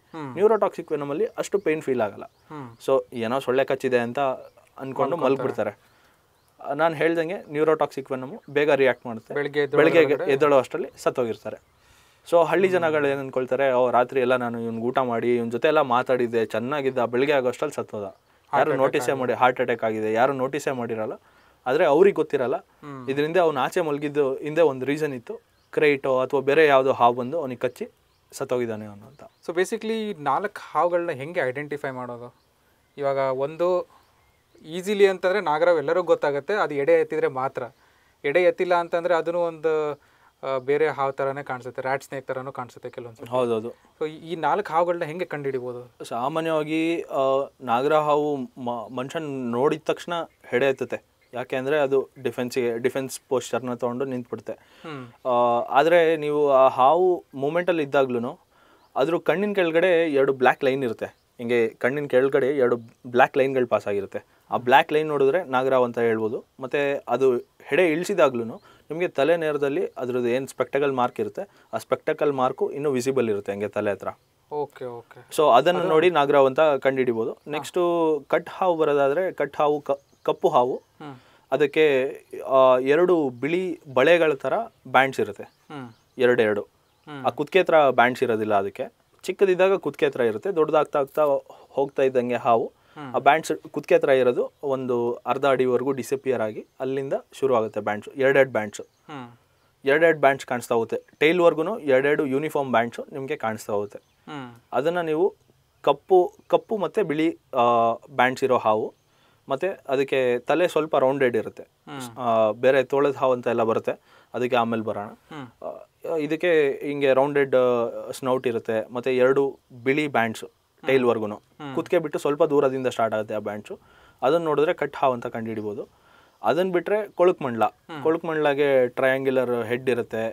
ಹೊರಟಾಗಿರೋ ಅಂತ ಹೌದೌದು. ಟ್ರಯಾಂಗ್ಯುಲರ್ ಹೆಡ್ ಇರುತ್ತೆ. ಮತ್ತೆ ಅಂತ ಸ್ಕೇಲ್ಸ್ ಇರುತ್ತೆ ಅದಕ್ಕೆ ಹೊರಟಾಗಿರೋ ಸ್ಕೇಲ್ಸ್ ಇಂದ ನೀವು ಅದನ್ನ ಐಡೆಂಟಿಫೈ ಮಾಡ್ಬೋದು. ಮತ್ತೆ ಅದಕ್ಕೆ ಬಳೆ ಆಕಾರದಲ್ಲಿ ಸರ್ಕ ಸರ್ಕಲ್ಸ್ ಆಕ್ಚುಲಿ ಸರ್ಕಲ್ಸ್ ಇರುತ್ತೆ ಬಾಡಿ ತುಂಬ. ಈಗ ಮೂರು ರೋ ಅಲ್ಲಿ ಇರುತ್ತೆ ಅದು. ಅಂದ್ರೆ ಅದ್ರದ್ದು ಮೂಳೆ ಮೇಲ್ಗಡೆ ಹಿಂದೆ ಏನು ಮೂಳೆ ಬರುತ್ತೆ? ಮೇಲ್ ಮೇನ್ ಮೂಳೆ. ಆ ಮೇನ್ ಮೂಳೆ ಮೇಲೆ ಸರ್ಕಲ್ ಆಕಾರ ಇರುತ್ತೆ. ಅದನ್ನ ನೋಡು ಬ್ರೌನ್ ಹಾವಿಗೆ ಬ್ಲ್ಯಾಕ್ ಸರ್ಕಲ್ಸ್ ಇರುತ್ತೆ. ಅದನ್ನ ನೋಡಿ ಕಂಡುಹಿಡಿಬೋದು. ಹ್ಮ್. ಮತ್ತೆ ಸೈಜ್ ಎಷ್ಟು ದೊಡ್ಡದಿರುತ್ತೆ ಕೊಳಕ್ ಮಂಡಲನ? ಕೊಳಕ್ ಮಂಡ್ಲ ಸುಮಾರು ನಿಮಗೆ ಐದು ಅಡಿವರೆಗೂ ಸಿಗ್ತದೆ. ಓಕೆ ಸಣ್ಣ ಹಾವಲ್ಲ ಸಣ್ಣ ಸಣ್ಣವಲ್ಲ ದೊಡ್ಡ ಹಾವೇನೆ. ಅಂದ್ರೆ ಇದರಲ್ಲೂ ಸಣ್ಣದು ಬರುತ್ತೆ ಮತ್ತೆ ದೊಡ್ಡದು ಬರುತ್ತೆ. ಎಲ್ಲದಕ್ಕೂ ನೀವು ಹೆಂಗೆ ಐಡೆಂಟಿಫೈ ಮಾಡ್ತೀರಾ ಅಂದ್ರೆ ಆ ಬಳೆ ಆಕಾರಗಳು. ಯೂನಿಫಾರ್ಮ್ ಬಳೆ ಆಕಾರಗಳು ಇರುತ್ತೆ ಬಾಡಿ ಮೇಲೆ. ಸೈಡ್ ಬಾಡಿ ಸೈಡಲ್ಲೂ ಇರುತ್ತೆ ಬಾಡಿ ಮೇಲ್ಗಡೆನೂ ಇರುತ್ತೆ. ಈ ಇದನ್ನ ನೋಡಿದ್ರೆ ಮತ್ತೆ ನೀವು ಮತ್ತೆ ಅದು ಕೊಳಕ್ಮಂಡ್ಲ ನೀವು ಹತ್ರ ಹೋಗ್ತಿದ್ದಂಗೆ ಅದು ಸಿಂಬೆ ಸುತ್ಕೊಂಡು ಸುರುಳಿ ಸುತ್ಕೊಂಡು ಆ ವಿಷಲ್ ಸೌಂಡ್ ಹೇಳಿದೆ ಏನ್ ಪ್ರೆಷರ್ ಕುಕ್ಕರ್ ಸೌಂಡ್ ಏನ್ ಹೆಂಗ್ ಬರುತ್ತೆ ಮನೆಯಲ್ಲಿ ಆ ತರ ಸೌಂಡ್ ಮಾಡುತ್ತೆ. ಸಾಮಾನ್ಯವಾಗಿ ಮಂಡಲ ಅಂತ ಕರೆಯೋದು ಅದೇ ರೀಸನ್ ಹಾ, ಹೌದು ಹೌದು ಹೌದು ಹೌದು. ಹೌದು. ಅದಾದ್ಮೇಲೆ ಮುಂದಿಂದು ಗರ್ಗಸ ಮಂಡಲ. ಅದು ತುಂಬಾ ಚಿಕ್ಕ ಹಾವು. ಅದು ಮ್ಯಾಕ್ಸಿಮಮ್ ಒಂದು ಒಂದು ಅಡಿ ಬೆಳಿಬೋದು. ಒಂದೂವರೆ ಎರಡು ಅಡಿ. ಒಂದು ಹಾ ಒಂದೂವರೆ ಎರಡು ಅಡಿ ಬೆಳಿಬೋದು.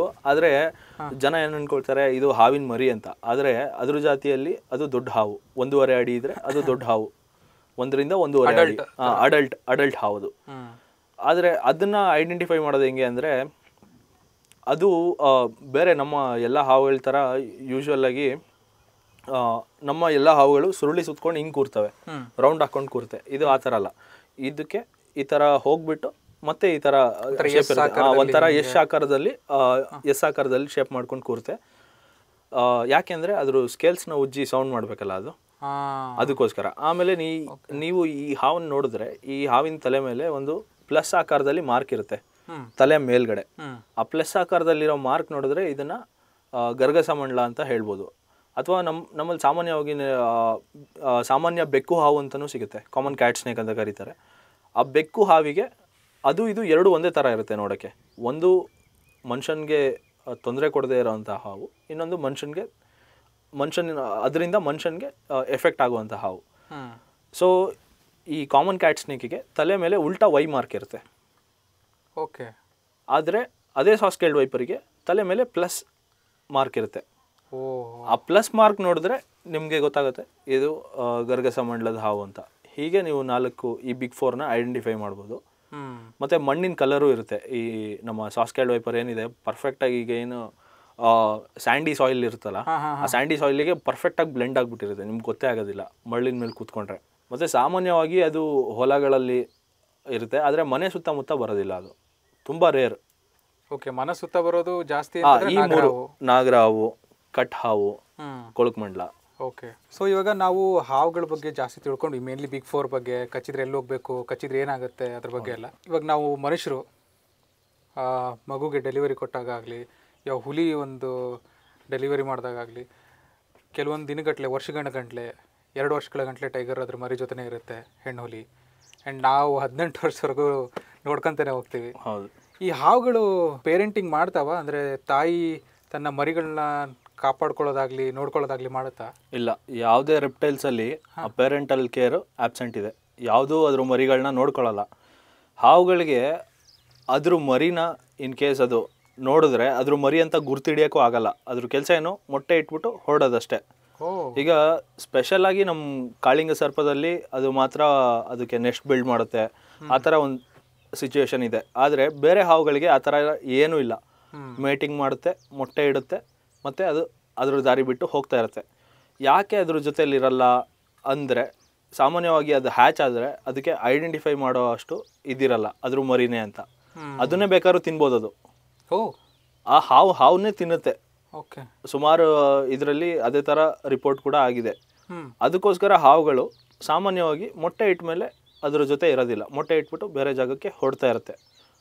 ಓ ಸೊ ಪೇರೆಂಟಿಂಗ್ ಮಾಡೋ ಪೇರೆಂಟಿಂಗ್ ಮಾಡೋದೇ ಇಲ್ಲ. ಅಂದರೆ ಇವಾಗ ಯಾವ ಹಾವು ಮೊಟ್ಟೆ ಇಡುತ್ತೆ ಯಾವ ಹಾವು ಮರಿ ಹಾಕುತ್ತೆ? ನಮ್ಮಲ್ಲಿ ಈಗ ಏನು ಕೊಳಕ್ಮಂಡ್ಲ ಇದೆ ಬಿಗ್ ಫೋರಲ್ಲಿ ಎಕ್ಸಾಂಪಲ್ ತಗೊಳಂಗಿದ್ರೆ ನಮ್ಮ ಸಾಸ್ಕೇಲ್ಡ್ ವೈಪರು ಮತ್ತು ರಸಲ್ಸ್ ವೈಪರು ಇದೆರಡು ಡೈರೆಕ್ಟ್ ಮರಿ ಮಾಡುತ್ತೆ. ಓ ಹೌದಾ? ಹೌದು. ಈಗ ನಾಗರಾವು ಮತ್ತು ಕಟ್ಟಾವು ಮೊಟ್ಟೆ ಇಡುತ್ತೆ ನಮ್ಮ ಗರ್ಗಸ ಮಂಡಲ ಮತ್ತು ಕೊಳಕ್ಮಂಡಲ ಎರಡೂ ಮರಿ ಮಾಡುತ್ತೆ ಡೈರೆಕ್ಟ್ ಮರಿ ಬರ್ ಮಾಡುತ್ತೆ. ಅದಕ್ಕೆ ಓವೋ ವಿ ವಿ ಪ್ಯಾರಸ್ ಅಂತ ಒಂದು ಟರ್ಮ್ ಇದೆ ಓವೋ ವಿ ವಿ ಪ್ಯಾರಸ್ ಅಂತ. ಮತ್ತು ಇನ್ನೊಂದಕ್ಕೆ ಓ ವಿ ಪ್ಯಾರಿಟಿ ಅಂತ. ಓ ವಿ ಪ್ಯಾರಿಟಿ ಅಂದರೆ ಮೊಟ್ಟೆಯಿಂದ ಮರಿ ಆಚೆ ಬರೋದು. ಹಾಂ. ಓವೋ ವಿ ವಿ ಪ್ಯಾರಸ್ ಅಂದರೆ ಮೊಟ್ಟೆ ಒಳಗಡೆನೆ ಹ್ಯಾಚ್ ಆಗಿ ಬಾಡಿ ಒಳಗಡೆನೆ ಹ್ಯಾಚ್ ಆಗಿ ಮರಿಗಳು ಡೈರೆಕ್ಟಾಗಿ ಆಚೆ ಬರೋದು. ಓಕೆ. ಸೊ ಇನ್ ಕೇಸ್ ಈ ಮರಿ ಡೈರೆಕ್ಟಾಗಿ ಮೊಟ್ಟೆ ಅಲ್ಲದೆ ಮರಿನೇ ಹೊರಗೆ ಬಂದಾಗನೂ ಅದು ಪೇರೆಂಟಲ್ ಕೇರ್ ಇರೋದಿಲ್ಲ. ಇರೋದಿಲ್ಲ. ಹಂಗೆ ಡೆಲಿವರಿ ಮಾಡಿ ಹಂಗೆ ಹೋಗ್ತಾ ಹೌದು. ಮರಿ ಹುಟ್ತಾ ಇದ್ರೆ ಅದು ಒಂದೊಂದು ಡೈರೆಕ್ಷನಲ್ಲಿ ಹೋಗ್ತಾ ಇರುತ್ತೆ. ಜೊತೆಯಲ್ಲಿ ಇರೋದಿಲ್ಲ ಅದು. ನಮಗೆ ಸುಮಾರು ಸತಿ ರೆಸ್ಕ್ಯೂ ಆದಾಗ ಕೊಳಕ್ಮಂಡ್ಲ ಬಕೆಟ್ ಅಲ್ಲಿ ಹಾಕ್ದಾಗ ಕೆಲವೊಮ್ಮೆ ನೋಡಿದೀವಿ. ಮರಿಗಳು ರಾತ್ರಿ ಹಿಡಿದಾಗ ನಮ್ಗೆ ಗೊತ್ತಿರೋದಿಲ್ಲ. ರಾತ್ರಿ ಹಿಡಿದಾಗ ಏನೋ ತಿಂದಿದೆ ಅಂತ ಅನ್ಕೊಂಡಿರ್ತೀವಿ. ರಾತ್ರಿ ಹಿಡಿದು ಬೆಳಗ್ಗೆ ತೆಗ್ ಕೆಲವೊಂದು ಸರಿ ಬಿಡಕ್ಕೆ ಆಗೋದಿಲ್ಲ ಆಚೆ ಹಾವುಗಳನ್ನ ಅಂದರೆ ತುಂಬ ಮಳೆ ಇರುತ್ತೆ ಅಥವಾ ತುಂಬ ಬೇರೆ ಸರ್ಕಮ್ಸ್ಟೆನ್ಸಸ್ ಇಂದ ಆಚೆ ಹಾಕೋಕ್ಕಾಗ ಅಥವಾ ಇಂಜುರಿ ಆಗಿರುತ್ತೆ. ಕೊಳಕುಮಂಡ್ಲಗಳು ಇಂಜುರಿ ಆಗಿ ಸಿಕ್ಕಿದಾಗ ಅದಕ್ಕೆ ಟ್ರೀಟ್ ಮಾಡಿಸಿ ಒಂದು ಎರಡು ದಿನ ಅಬ್ಸರ್ವೇಷನಲ್ಲಿ ಇಟ್ಟಿದ್ದಾಗ ಅಲ್ಲೇ ಅದ್ರ ಎನ್ಕ್ಲೋಸರಲ್ಲೇ ಅದು ಮರಿ ಹಾಕಿರೋದನ್ನು ನೋಡಿದ್ದೀವಿ ನಾವು. ಅದ್ರ ವ- ಸುಮಾರು ಕೊಳಕುಮಂಡ್ಲ ಒಂದು ಅರವತ್ತಿಂದ ನೂರು ಮರಿಗಳನ್ನ ಆಚೆ ಹಾಕುತ್ತೆ. ಒಂದು ಒಂದು ವರ್ಷದಲ್ಲಿ. ಈ ಥರ ಎಲ್ಲ ಸಿಚುವೇಶನ್ಸ್ ಇದೆ. ಮತ್ತೆ ಈಗ ನಮ್ಮ ಗರ್ಗಸ ಮಂಡಲ ಅಂದಲ್ಲ ಅದ್ರದ್ದು ಮರಿ ಇರುತ್ತೆ. ಅದು ಮರಿ ಎಷ್ಟಿರುತ್ತೆ ಅಂದ್ರೆ ಒಂದು ರೂಪಾಯಿದು ಚಿಕ್ಕ ಕಾಯಿನ್ ಇರುತ್ತಲ್ಲ ಆ ಚಿಕ್ಕ ಕಾಯಿನ್ ಅಷ್ಟು ಸೈಜ್ ಇರುತ್ತೆ ಕಾಯಿಲ್ ಹಾಕಿ ಕೂತ್ಕೊಂಡ್ರೆ. ಓಕೆ ಅಷ್ಟೇ ಸೈಜಲ್ಲಿ ಇರುತ್ತೆ. ಹಾ. ಇದು ಹಾವುಗಳ ಬಗ್ಗೆ ಹಾವು ಮೊಟ್ಟೆ ಇಡೋದು ಅಥವಾ ಮರಿ ಮಾಡೋದ್ರ ಬಗ್ಗೆ.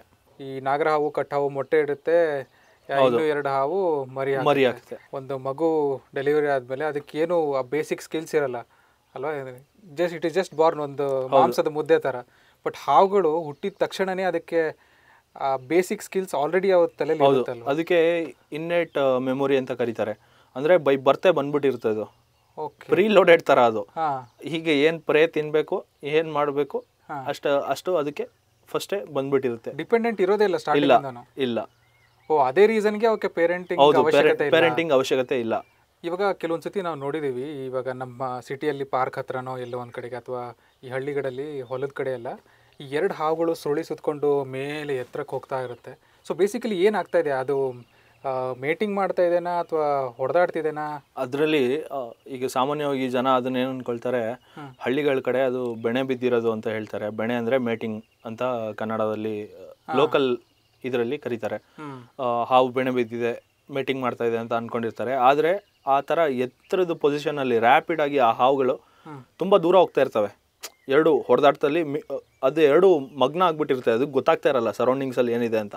ಅದಕ್ಕೇನು ಯಾವ ಹಾವು ಮೇಲೋಗಿ ಇನ್ನೊಂದು ಹಾವನ್ನ ಪಿನ್ ಮಾಡಿ ಅಂದ್ರೆ ಇನ್ನೊಂದು ಹಾವನ್ನ ಕೆಳಗೆ ಬಗ್ಸುತ್ತೆ ಅದು ವಿನ್ನರ್ ಅನ್ನಂಗೆ. ಸೊ ಇದು ಗಂಡು ಹೆಣ್ಣು ಅಲ್ಲ ಗಂಡು ಹೆಣ್ಣು ಅಲ್ಲ ಗಂಡು ಗಂಡೆನೆ. ದೂರದಲ್ಲೆಲ್ಲೋ ಒಂದು ಹೆಣ್ಣಿರುತ್ತೆ. ಹತ್ರದಲ್ಲಿ ಅಥವಾ ದೂರದಲ್ಲಿ ಎಲ್ಲೋ ಒಂದು ಹೆಣ್ಣಿರುತ್ತೆ. ಆ ಹೆಣ್ಣು ಇದನ್ನ ನೋಡ್ತಾ ಇರುತ್ತೆ ಆಕ್ಚುಲಿ ಎಲ್ಲಾನು ನೋಡ್ತಾ ಇರುತ್ತೆ. ಏನಾಗ್ತಾ ಇದೆ? ಕಾಂಬ್ಯಾಟ್ ಕಾಂಬ್ಯಾಟ್ ಡ್ಯಾನ್ಸ್ ಅಂತ ಕರೀತಾರೆ ಅಥವಾ ಕಾಂಬ್ಯಾಟ್ ಅಂತ ಕರೀತಾರೆ. ಎರಡು ಹಾವುಗಳು ಎರಡು ಗಂಡು ಹಾವುಗಳು ಹೊಡೆದಾಡ್ತಾ ಇರುತ್ತೆ ಒಂದು ಮೇಟಿಂಗ್ ಪಾರ್ಟ್ನರ್ಗೋಸ್ಕರ ಇದನ್ನ ಜನ ಸಾಮಾನ್ಯವಾಗಿ ಏನ್ ಅನ್ಕೊಳ್ತಾರೆ ಅಂದ್ರೆ ಓ ಎರಡು ಹಾವು ಮೇಟಿಂಗ್ ಮಾಡ್ತಾ ಇದೆ ಅಂತ. ಆದ್ರೆ ಇದು ಮೇಟಿಂಗ್ ಅಲ್ಲ. ಇದು ಕಾಂಬ್ಯಾಟ್ ಫೈಟ್ ಅಂತ ಕರೀತಾರೆ. ಎರಡು ಹಾವುಗಳು ಹೆಣ್ಣಿಗೋಸ್ಕರ ಹೊಡೆದಾಡ್ತಾ ಇರುತ್ತೆ ಹೋರಾಡ್ತಾ ಇರುತ್ತೆ. ಓಕೆ ಅದರಲ್ಲಿ ಯಾರು ಗೆಲ್ತಾರೆ ಅದ್ರಲ್ಲಿ ಯಾರು ಗೆಲ್ತಾರೆ? ಆ ಹೆಣ್ಣು ಅದು ಆ ಹಾ ಗಂಡ ಹಾವು ಹೋಗ್ಬಿಟ್ಟು ಹೆಣ್ಣಿನ ಜೊತೆ ಮೇಟ್ ಮಾಡುತ್ತೆ. ಈ ಮೇಟಿಂಗ್ ಮಾಡುವಾಗ ಈ ತರ ಸುಳಿಸುತ್ತಲ್ಲ ಇಲ್ಲ ಇಲ್ಲ. ಮೇಟಿಂಗ್ ಮೇಟಿಂಗ್ ಮಾಡುವಾಗ ಎಲ್ಲಾದ್ರೂ ಒಂದು ಬೇಲಿನೋ ಅಥವಾ ಯಾವ್ದಾದ್ರು ಒಂದು ಬುಷಸ್ ಯಾವ್ದಾದ್ರು ಗಿಡದ ಕೆಳಗೆ ಕಾಯಿಲ್ ಆಗ್ಬಿಟ್ಟು ಮಲ್ಗಿರ್ತವೆ ಅಷ್ಟೇ. ಎರಡು ಒಂದಕ್ಕೊಂದು ಸುತ್ಕೊಂಡಿರುತ್ತೆ. ಅದರಲ್ಲಿ ಹಾವುಗಳಿಗೆ ಹೆಮಿಪಿನಸ್ ಅಂತ ಕರೀತಾರೆ. ಅದು ಮೇಟಿಂಗ್ ಆರ್ಗನ್ ಫಿಮೇಲ್ಗೆ ಸೇಮ್ ನಮ್ಮಲ್ಲಿ ಹೆಂಗೆ ಇದಿರುತ್ತೆ ಅದೇ ತರ ಕ್ಲೋಯಕಲ್ ಓಪನಿಂಗ್ ಇರುತ್ತೆ. ಎರಡು ಪೆನಿಸ್ಗೆ ಹೆಮಿಪಿನಸ್ ಅಂತಾರೆ. ಆ ಎರಡು ಪೆನಸ್ ಇಂದ ಮೇಟಿಂಗ್ ಮಾಡುತ್ತೆ ಹಾವುಗಳು. ಮೇಟಿಂಗ್ ಮಾಡುವಾಗ ಒಂದೇ ಜಾಗದಲ್ಲಿ ಇರ್ತವೆ. ನಾವು ತುಂಬಾ ಬಾರಿ ರೆಸ್ಕ್ಯೂ ಮಾಡುವಾಗ ನಮಗೆ ಸಿಕ್ಕಿದೆ ಹಾವುಗಳು ಮೇಟಿಂಗ್ ಅಲ್ಲಿ. ಆದ್ರೆ ನಾವು ಅದನ್ನ ಮೇಟಿಂಗ್ ಅಂತ ಗೊತ್ತಾಗ ಕೂಡಲೇ ನಾವು ಅಲ್ಲಿನ ಜನಕ್ಕೆ ಎಷ್ಟು ಮಾಹಿತಿ ಕೊಡೋಕ್ಕಾಗತ್ತೆ ಅಷ್ಟು ಮಾಹಿತಿ ಕೊಟ್ಟು ಒಂದು ಸ್ವಲ್ಪ ಒಂದು ಸ್ವಲ್ಪ ಟೈಮು ವೆಯ್ಟ್ ಮಾಡ್ತೀವಿ. ನಾವು ಅವ್ರ ಜೊತೆ ನಿಂತ್ಕೊಂಡು ವೆಯ್ಟ್ ಮಾಡ್ತೀವಿ. ಯಾಕಂದ್ರೆ ನಾವು ಬಿಟ್ಟೋದ್ಮೇಲೆ ಹೊಡೆದ್ರು ಹೊಡೆದು ಬಿಡ್ಬೋದು ಅವರು. ಅದಕ್ಕೋಸ್ಕರ ನಾವು ದೂರದಲ್ಲಿ ನಿಂತ್ಕೊಂಡು ಅವ್ರಿಗೆ ಆ ಟೈಮಲ್ಲಿ ನಾವು ಅವ್ರಿಗೆ ಅದ್ರ ಬಗ್ಗೆ ಜಾಗೃತಿ ಮೂಡಿಸ್ತಾ ಇರ್ತೀವಿ. ಏನಕ್ಕೆ ಏನಕ್ಕೆ ಆ ಹಾವುಗಳು ಇಂಪಾರ್ಟೆಂಟು ಏನಕ್ಕೆ ಮೇಟಿಂಗ್ ಮಾಡ್ತಾ ಇದೆ ಇದು ಏನಕ್ಕೆ ಡಿಸ್ಟರ್ಬ್ ಮಾಡಬಾರ್ದು? ನಾವು ಇವಾಗ ಡಿಸ್ಟರ್ಬ್ ಮಾಡಿದ್ರೆ ನೆಕ್ಸ್ಟ್ ಜನ್ರೇಷನ್ನ ನಾವೇ ನಿಲ್ಲಿಸ್ದಂಗೆ ಒಂದು ಹಾವಿನ ಜನ್ರೇಷನ್ನ ತೆಗ್ದಾಕ್ದಂಗೆ ಅದು ಸಂತತಿ ಹಂಗೆ ನಾವು ನಾವೇ ನಾಶ ಮಾಡ್ದಂಗೆ.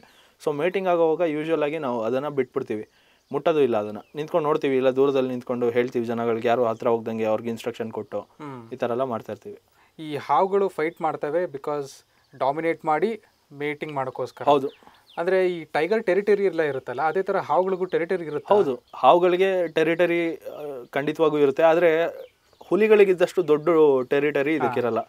ಇದಕ್ಕೆ ತುಂಬ ಚಿಕ್ಕ ಟೆರಿಟರಿಗಳಿರುತ್ತೆ ಇದರದೇ ಆದಂಥ ಚಿಕ್ಕ ಜಾಗಗಳಿರುತ್ತೆ. ಇದನ್ನ ಹೆಂಗೆ ಎಕ್ಸ್ಪ್ಲೇನ್ ಮಾಡ್ಬೋದು ಅಂದರೆ ನಾವು ಸಾಮಾನ್ಯವಾಗಿ ಒಂದು ಈಗ ಒಂದು ಹಾವನ್ನ ಸಂರಕ್ಷಣೆ ಮಾಡಿದ್ರೆ ಎಲ್ಲ ಜನ ಹೇಳ್ತಾರೆ ನಮಗೆ ಹಾವನ್ನ ತೊಗೊಂಡೋಗಿ ಕಾಡಿಗೆ ಬಿಡಿ ಕಾಡಿಗೆ ಬಿಡ್ಬೇಕು ಅದನ್ನು ಅಂತ. ಆದರೆ ನಿಜವಾಗಿಯೂ ನೀವು ಸಂರಕ್ಷಣೆ ಯಾವಾಗ ಮಾಡ್ತೀರಾ ಅಂದರೆ ಆ ಹಾವನ್ನು ಅದು ಯಾರ ಮನೆಯಲ್ಲಿ ತೊಂದರೆ ಕೊಡ್ತಾ ಇದೆ ಆ ಮನೆಯಿಂದ ತಗೊಂಡೋಗಿ ಅದರ ಟೆರಿಟರಿ ಏನು ರೇಂಜ್ ಇರುತ್ತೆ ಆ ರೇಂಜಲ್ಲೇ ಹಾವನ್ನ ಮತ್ತೆ ರಿಲೀಸ್ ಮಾಡಬೇಕು. ಪ್ರೋಟೋಕಾಲ್ ಪ್ರಕಾರ ಹಾಗೆ ಇದೆ. ನಾವು ಆಚೆ ತೊಗೊಂಡೋಗಿ ಎಲ್ ಕಾಡಿಗೆ ಅಂತೂ ಬಿಡಂಗಿಲ್ಲ ಹಾವನ್ನ. ಅನ್ಬೋದು ಜನ ಕಾಡಿಗೆ ತೊಗೊಂಡೋಗಿ ಹಾವನ್ನ ಬಿಡಬೇಕು ಇಲ್ಲಿದ್ರೆ ನಮ್ಮ ಮತ್ತೆ ಕಚ್ಚುತ್ತೆ. ಈ ಭೂಮಿ ಮೇಲೆ ಮನುಷ್ಯನ್ ಒಬ್ಬಂಗೆ ಬದುಕಕ್ಕೆ ಹಾಕಿಲ್ಲ. ಎಲ್ಲ ಜೀವಿಗಳಿಗೂ ಬದುಕುವಂಥ ಸಮಾನ ಹಕ್ಕಿದೆ ಅದಕ್ಕೋಸ್ಕರ ನಾವು ಯಾವುದೇ ಹಾವುಗಳನ್ನ ಹಿಡಿದ್ರು ತುಂಬಾ ದೂರ ತಗೊಂಡೋಗಿ ಬಿಟ್ಟರೆ ಅದು ನೀವು ಕೇಳ್ದಂಗೆ ಟೆರಿಟರಿ ಮೇಲೆ ಎಫೆಕ್ಟ್ ಆಗುತ್ತೆ. ಈಗ ನೀವು ಇಲ್ಲಿರೋ ಹಾವನ್ನ ತಗೊಂಡೋಗಿ ಕಾಡಲ್ಲಿ ಬಿಟ್ಟರೆ ಆ ಕಾಡಲ್ಲಿ ನೀವು ಬಿಟ್ಟಿದ್ದ ಜಾಗದಲ್ಲಿ ಯಾವುದೋ ಹಾವಿಗೆ ಟೆರಿಟರಿ ಇರ್ಬೋದು ಅದು. ಮತ್ತೆ ಅದು ಇದು ಕಿತ್ತಾಡಕ್ ಸ್ಟಾರ್ಟ್ ಮಾಡುತ್ತೆ. ಅಥವಾ ಟೆಂಪರೇಚರ್ ವೇರಿಯೇಷನ್ ಆದ್ರೆ ಅದಕ್ಕೆ ಅದೇ ಬೈಟ್ ಮಾಡ್ಕೊಂಡು ಸಾಯೋ ಚಾನ್ಸಸ್ ಇರುತ್ತೆ. ತುಂಬಾ ಸ್ಟ್ರೆಸ್ ಆದ್ರೆ. ಸೊ ಈ ತರ ನಾವು ಹಾವುಗಳನ್ನ ಹಿಡಿದು ತಗೊಂಡೋಗಿ ತುಂಬಾ ದೂರ ಬಿಟ್ರೆ ಹಾವುಗಳು ಬದುಕೋದಿಲ್ಲ. ಸರ್ವೈವ್ ಆಗೋದು ತುಂಬಾ ಕಷ್ಟ. ಓಕೆ ಓಕೆ ಓಕೆ ಯಾಕಂದ್ರೆ ಈಗ ಈಗ ಎಕ್ಸಾಂಪಲ್ ತಗೊಳ್ಳೋದಾದ್ರೆ ಒಂದು ನಮ್ಮ ಮನೆ ಇರುತ್ತೆ. ನಮ್ಮ ಮನೆ ಅದು. ನಾವು ರಿಜಿಸ್ಟರ್ ಮಾಡಿರ್ತೀವಿ ನಾವು ಅಲ್ಲಿರ್ತೀವಿ. ಯಾರೋ ಬರ್ತಾರೆ ಮೂರನೇವರು ನಮ್ಮ ನಮ್ಮನ್ನು ತಗೊಂಡೋಗಿ ನಮ್ಮ ಮನೆಯಿಂದ ಆಚೆ ಹಾಕ್ತಾರೆ. ಈಗ ನಾವು ಬೇರೆ ಜಾಗಕ್ಕೆ ಹೋಗ್ಬಿಟ್ಟು ಅಥವಾ ಬೇರೆ ಸೈಟಲ್ಲಿ ಹೋಗ್ಬಿಟ್ಟು ನನ್ನ ಮನೆ ಇಲ್ಲಪ್ಪ ಇವಾಗ ಇದು ನನ್ನ ಜಾಗ ಇಲ್ಲಿ ನಾನು ಮನೆ ಕಟ್ಕೊಳ್ತೀನಿ ಅಂದ್ರೆ ಬಿಡ್ತಾರಾ? ಜನನೇ ಬಿಡೋದಿಲ್ಲ ಅಂದ್ರೆ ಬೇರೆ ಜೀವಿಗಳು ಬಿಡೋದಿಲ್ಲ. ಅದೇ ತರ ಎರಡರ ಮಧ್ಯದಲ್ಲಿ ಕ್ಲಾಶ್ ಆಗಕ್ಕೆ ಸ್ಟಾರ್ಟ್ ಆಗುತ್ತೆ. ಕ್ಲಾಶ್ ಆದ್ಮೇಲೆ ಯಾವುದೋ ಒಂದು ಹಾವು ಸಾಯ್ಬೋದು ಇವಾಗ ಮುಂಚೆ ಇದ್ದಿದ್ದು ಹಾವೇ ಸಾಯ್ಬೋದು. ಅದಕ್ಕೆ ನಾವು ರೀಸನ್ ಆಗಬಾರ್ದು. ಅದು ಒಂದೇ ಕಾರಣಕ್ಕೋಸ್ಕರ ಹಾವನ್ನ ಎಲ್ಲಿ ಹಿಡಿತೀವಿ ಅದರಿಂದ ಸುಮಾರು ಮನುಷ್ಯ ಅಂದರೆ ಮನುಷ್ಯರು ವಾಸ ಮಾಡ್ತಾ ಇರೋ ಸ್ಥಳದಿಂದ ಸ್ವಲ್ಪ ದೂರ ತಗೊಂಡೋಗಿ ಅದನ್ನ ರಿಲೀಸ್ ಮಾಡೋವಂಥದ್ದು ಇರುತ್ತೆ. ಹತ್ತು ವರ್ಷದಿಂದ ತುಮಕೂರು ಅನ್ನೋ ರೀಜನಲ್ಲಿ ರೆಸ್ಕ್ಯೂ ಮಾಡ್ತಾ ಇದ್ದೀರಾ? ಹಲವಾರು ಲೊಕೇಶನ್ಗೆ ಹೋಗಿರ್ತೀರಾ? ಹೌದು. ಹಲವಾರು ಹಾವುಗಳನ್ನ ನೋಡಿರ್ತೀರ?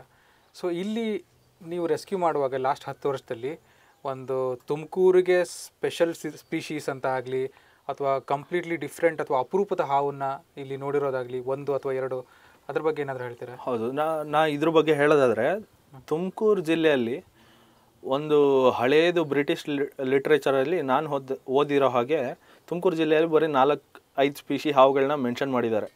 ಇದು ಸುಮಾರು ಸಾವಿರದ ಒಂಬೈನೂರ ಐವತ್ತು ಐವತ್ತೆರಡರ ಮಾತು. ಬರೀ ಆರು ಸ್ಪೀಶಿ ಇದೆ ಹಿಂಗೆ ಮೆನ್ಷನ್ ಮಾಡಿದ್ದಾರೆ. ಆದರೆ ಯಾರಿಗೂ ಗೊತ್ತಿಲ್ಲ ಎಷ್ಟು ಜಾತಿ ಹಾವುಗಳು ತುಮಕೂರಲ್ಲಿ ಇದೆ ಅಂತ ನಾವು ನಮ್ಮ ಸಂಸ್ಥೆಯಿಂದ ಇದಕ್ಕೋಸ್ಕರನೇ ನಮ್ಮಲ್ಲಿ ಎಷ್ಟು ಜಾತಿ ಹಾವಿರ್ಬೋದು ಅಂತ ಒಂದು ಎಸ್ಟಿಮೇಟ್ ಮಾಡೋಕ್ಕೆ ತುಮಕೂರು ಸುತ್ತಮುತ್ತನ ಏರಿಯಾಗಳಲ್ಲಿ ನಾವು ಸರ್ವೇಸ್ ಕಂಡಕ್ಟ್ ಮಾಡ್ತಾ ಇದ್ವಿ. ಸರ್ವೆ ಕಂಡಕ್ಟ್ ಮಾಡುವಾಗ ನಮಗೆ ತಿಳಿದು ಬಂದಿದ್ದು ನಮ್ಮ ಜಿಲ್ಲೆಯಲ್ಲಿ ಏನು ಇವ್ರು ಹೇಳಿದ್ದು ಹಾ ಆರು ಜಾತಿ ಹಾವಿದೆ ಆರು ಜಾತಿ ಇಲ್ಲ. ನಲ್ ಸುಮಾರು ನಲ್ವತ್ತು ನಲ್ ನಲ್ವತ್ತಿಂದ ನಲ್ವತ್ತೆರಡು ಜಾತಿ ಹಾವುಗಳು ನಮ್ಮ ಜಿಲ್ಲೆಯಲ್ಲಿ ಕಂಡುಬರುತ್ತೆ. ಎರಡು ಸೇರಿ ವೆನಮಸ್ ವೆನಮಸ್ ನಾನ್ ವೆನಮಸ್ ಇಷ್ಟು ಹಾವುಗಳಲ್ಲಿ ನಲ್ವತ್ತಿಂದ ನಲ್ವತ್ತೆರಡು ಜಾತಿ ಹಾವು ಕಂಡು ಬರುತ್ತೆ ಅದರಲ್ಲಿ ನಮಗೆ ತುಂಬ ಸ್ಪೆಷಲ್ ಅನಿಸಿದಂದರೆ ಎರಡು ಸಾವಿರದ ಹತ್ತೊಂಬತ್ತರಲ್ಲಿ ನಮಗೆ ಒಂದು ಹಾವು ಸಿಕ್ಕಿತ್ತು ಸಿಕ್ಕಿತ್ತು. ಆಗಸ್ಟ್ ಎರಡನೇ ತಾರೀಕು. ನಮಗೆ ಒಂದು ವಿಶೇಷ ಹಾವು ಸಿಕ್ತು. ನಾವು ರಸ್ತೆಯಲ್ಲಿ ಹಿಂಗೆ ಗಾಡಿಯಲ್ಲಿ ಹೋಗುವಾಗ ಒಂದು ಹಾವು ಕಾಣಿಸ್ತು ರೋಡ್ ಮಧ್ಯದಲ್ಲಿ. ನಾವು ಆ ಹಾವು ನೋಡ್ತೀವಿ ಆ ಹಾವು ನಾವು ಯಾವತ್ತೂ ನೋಡೇ ಇಲ್ಲ.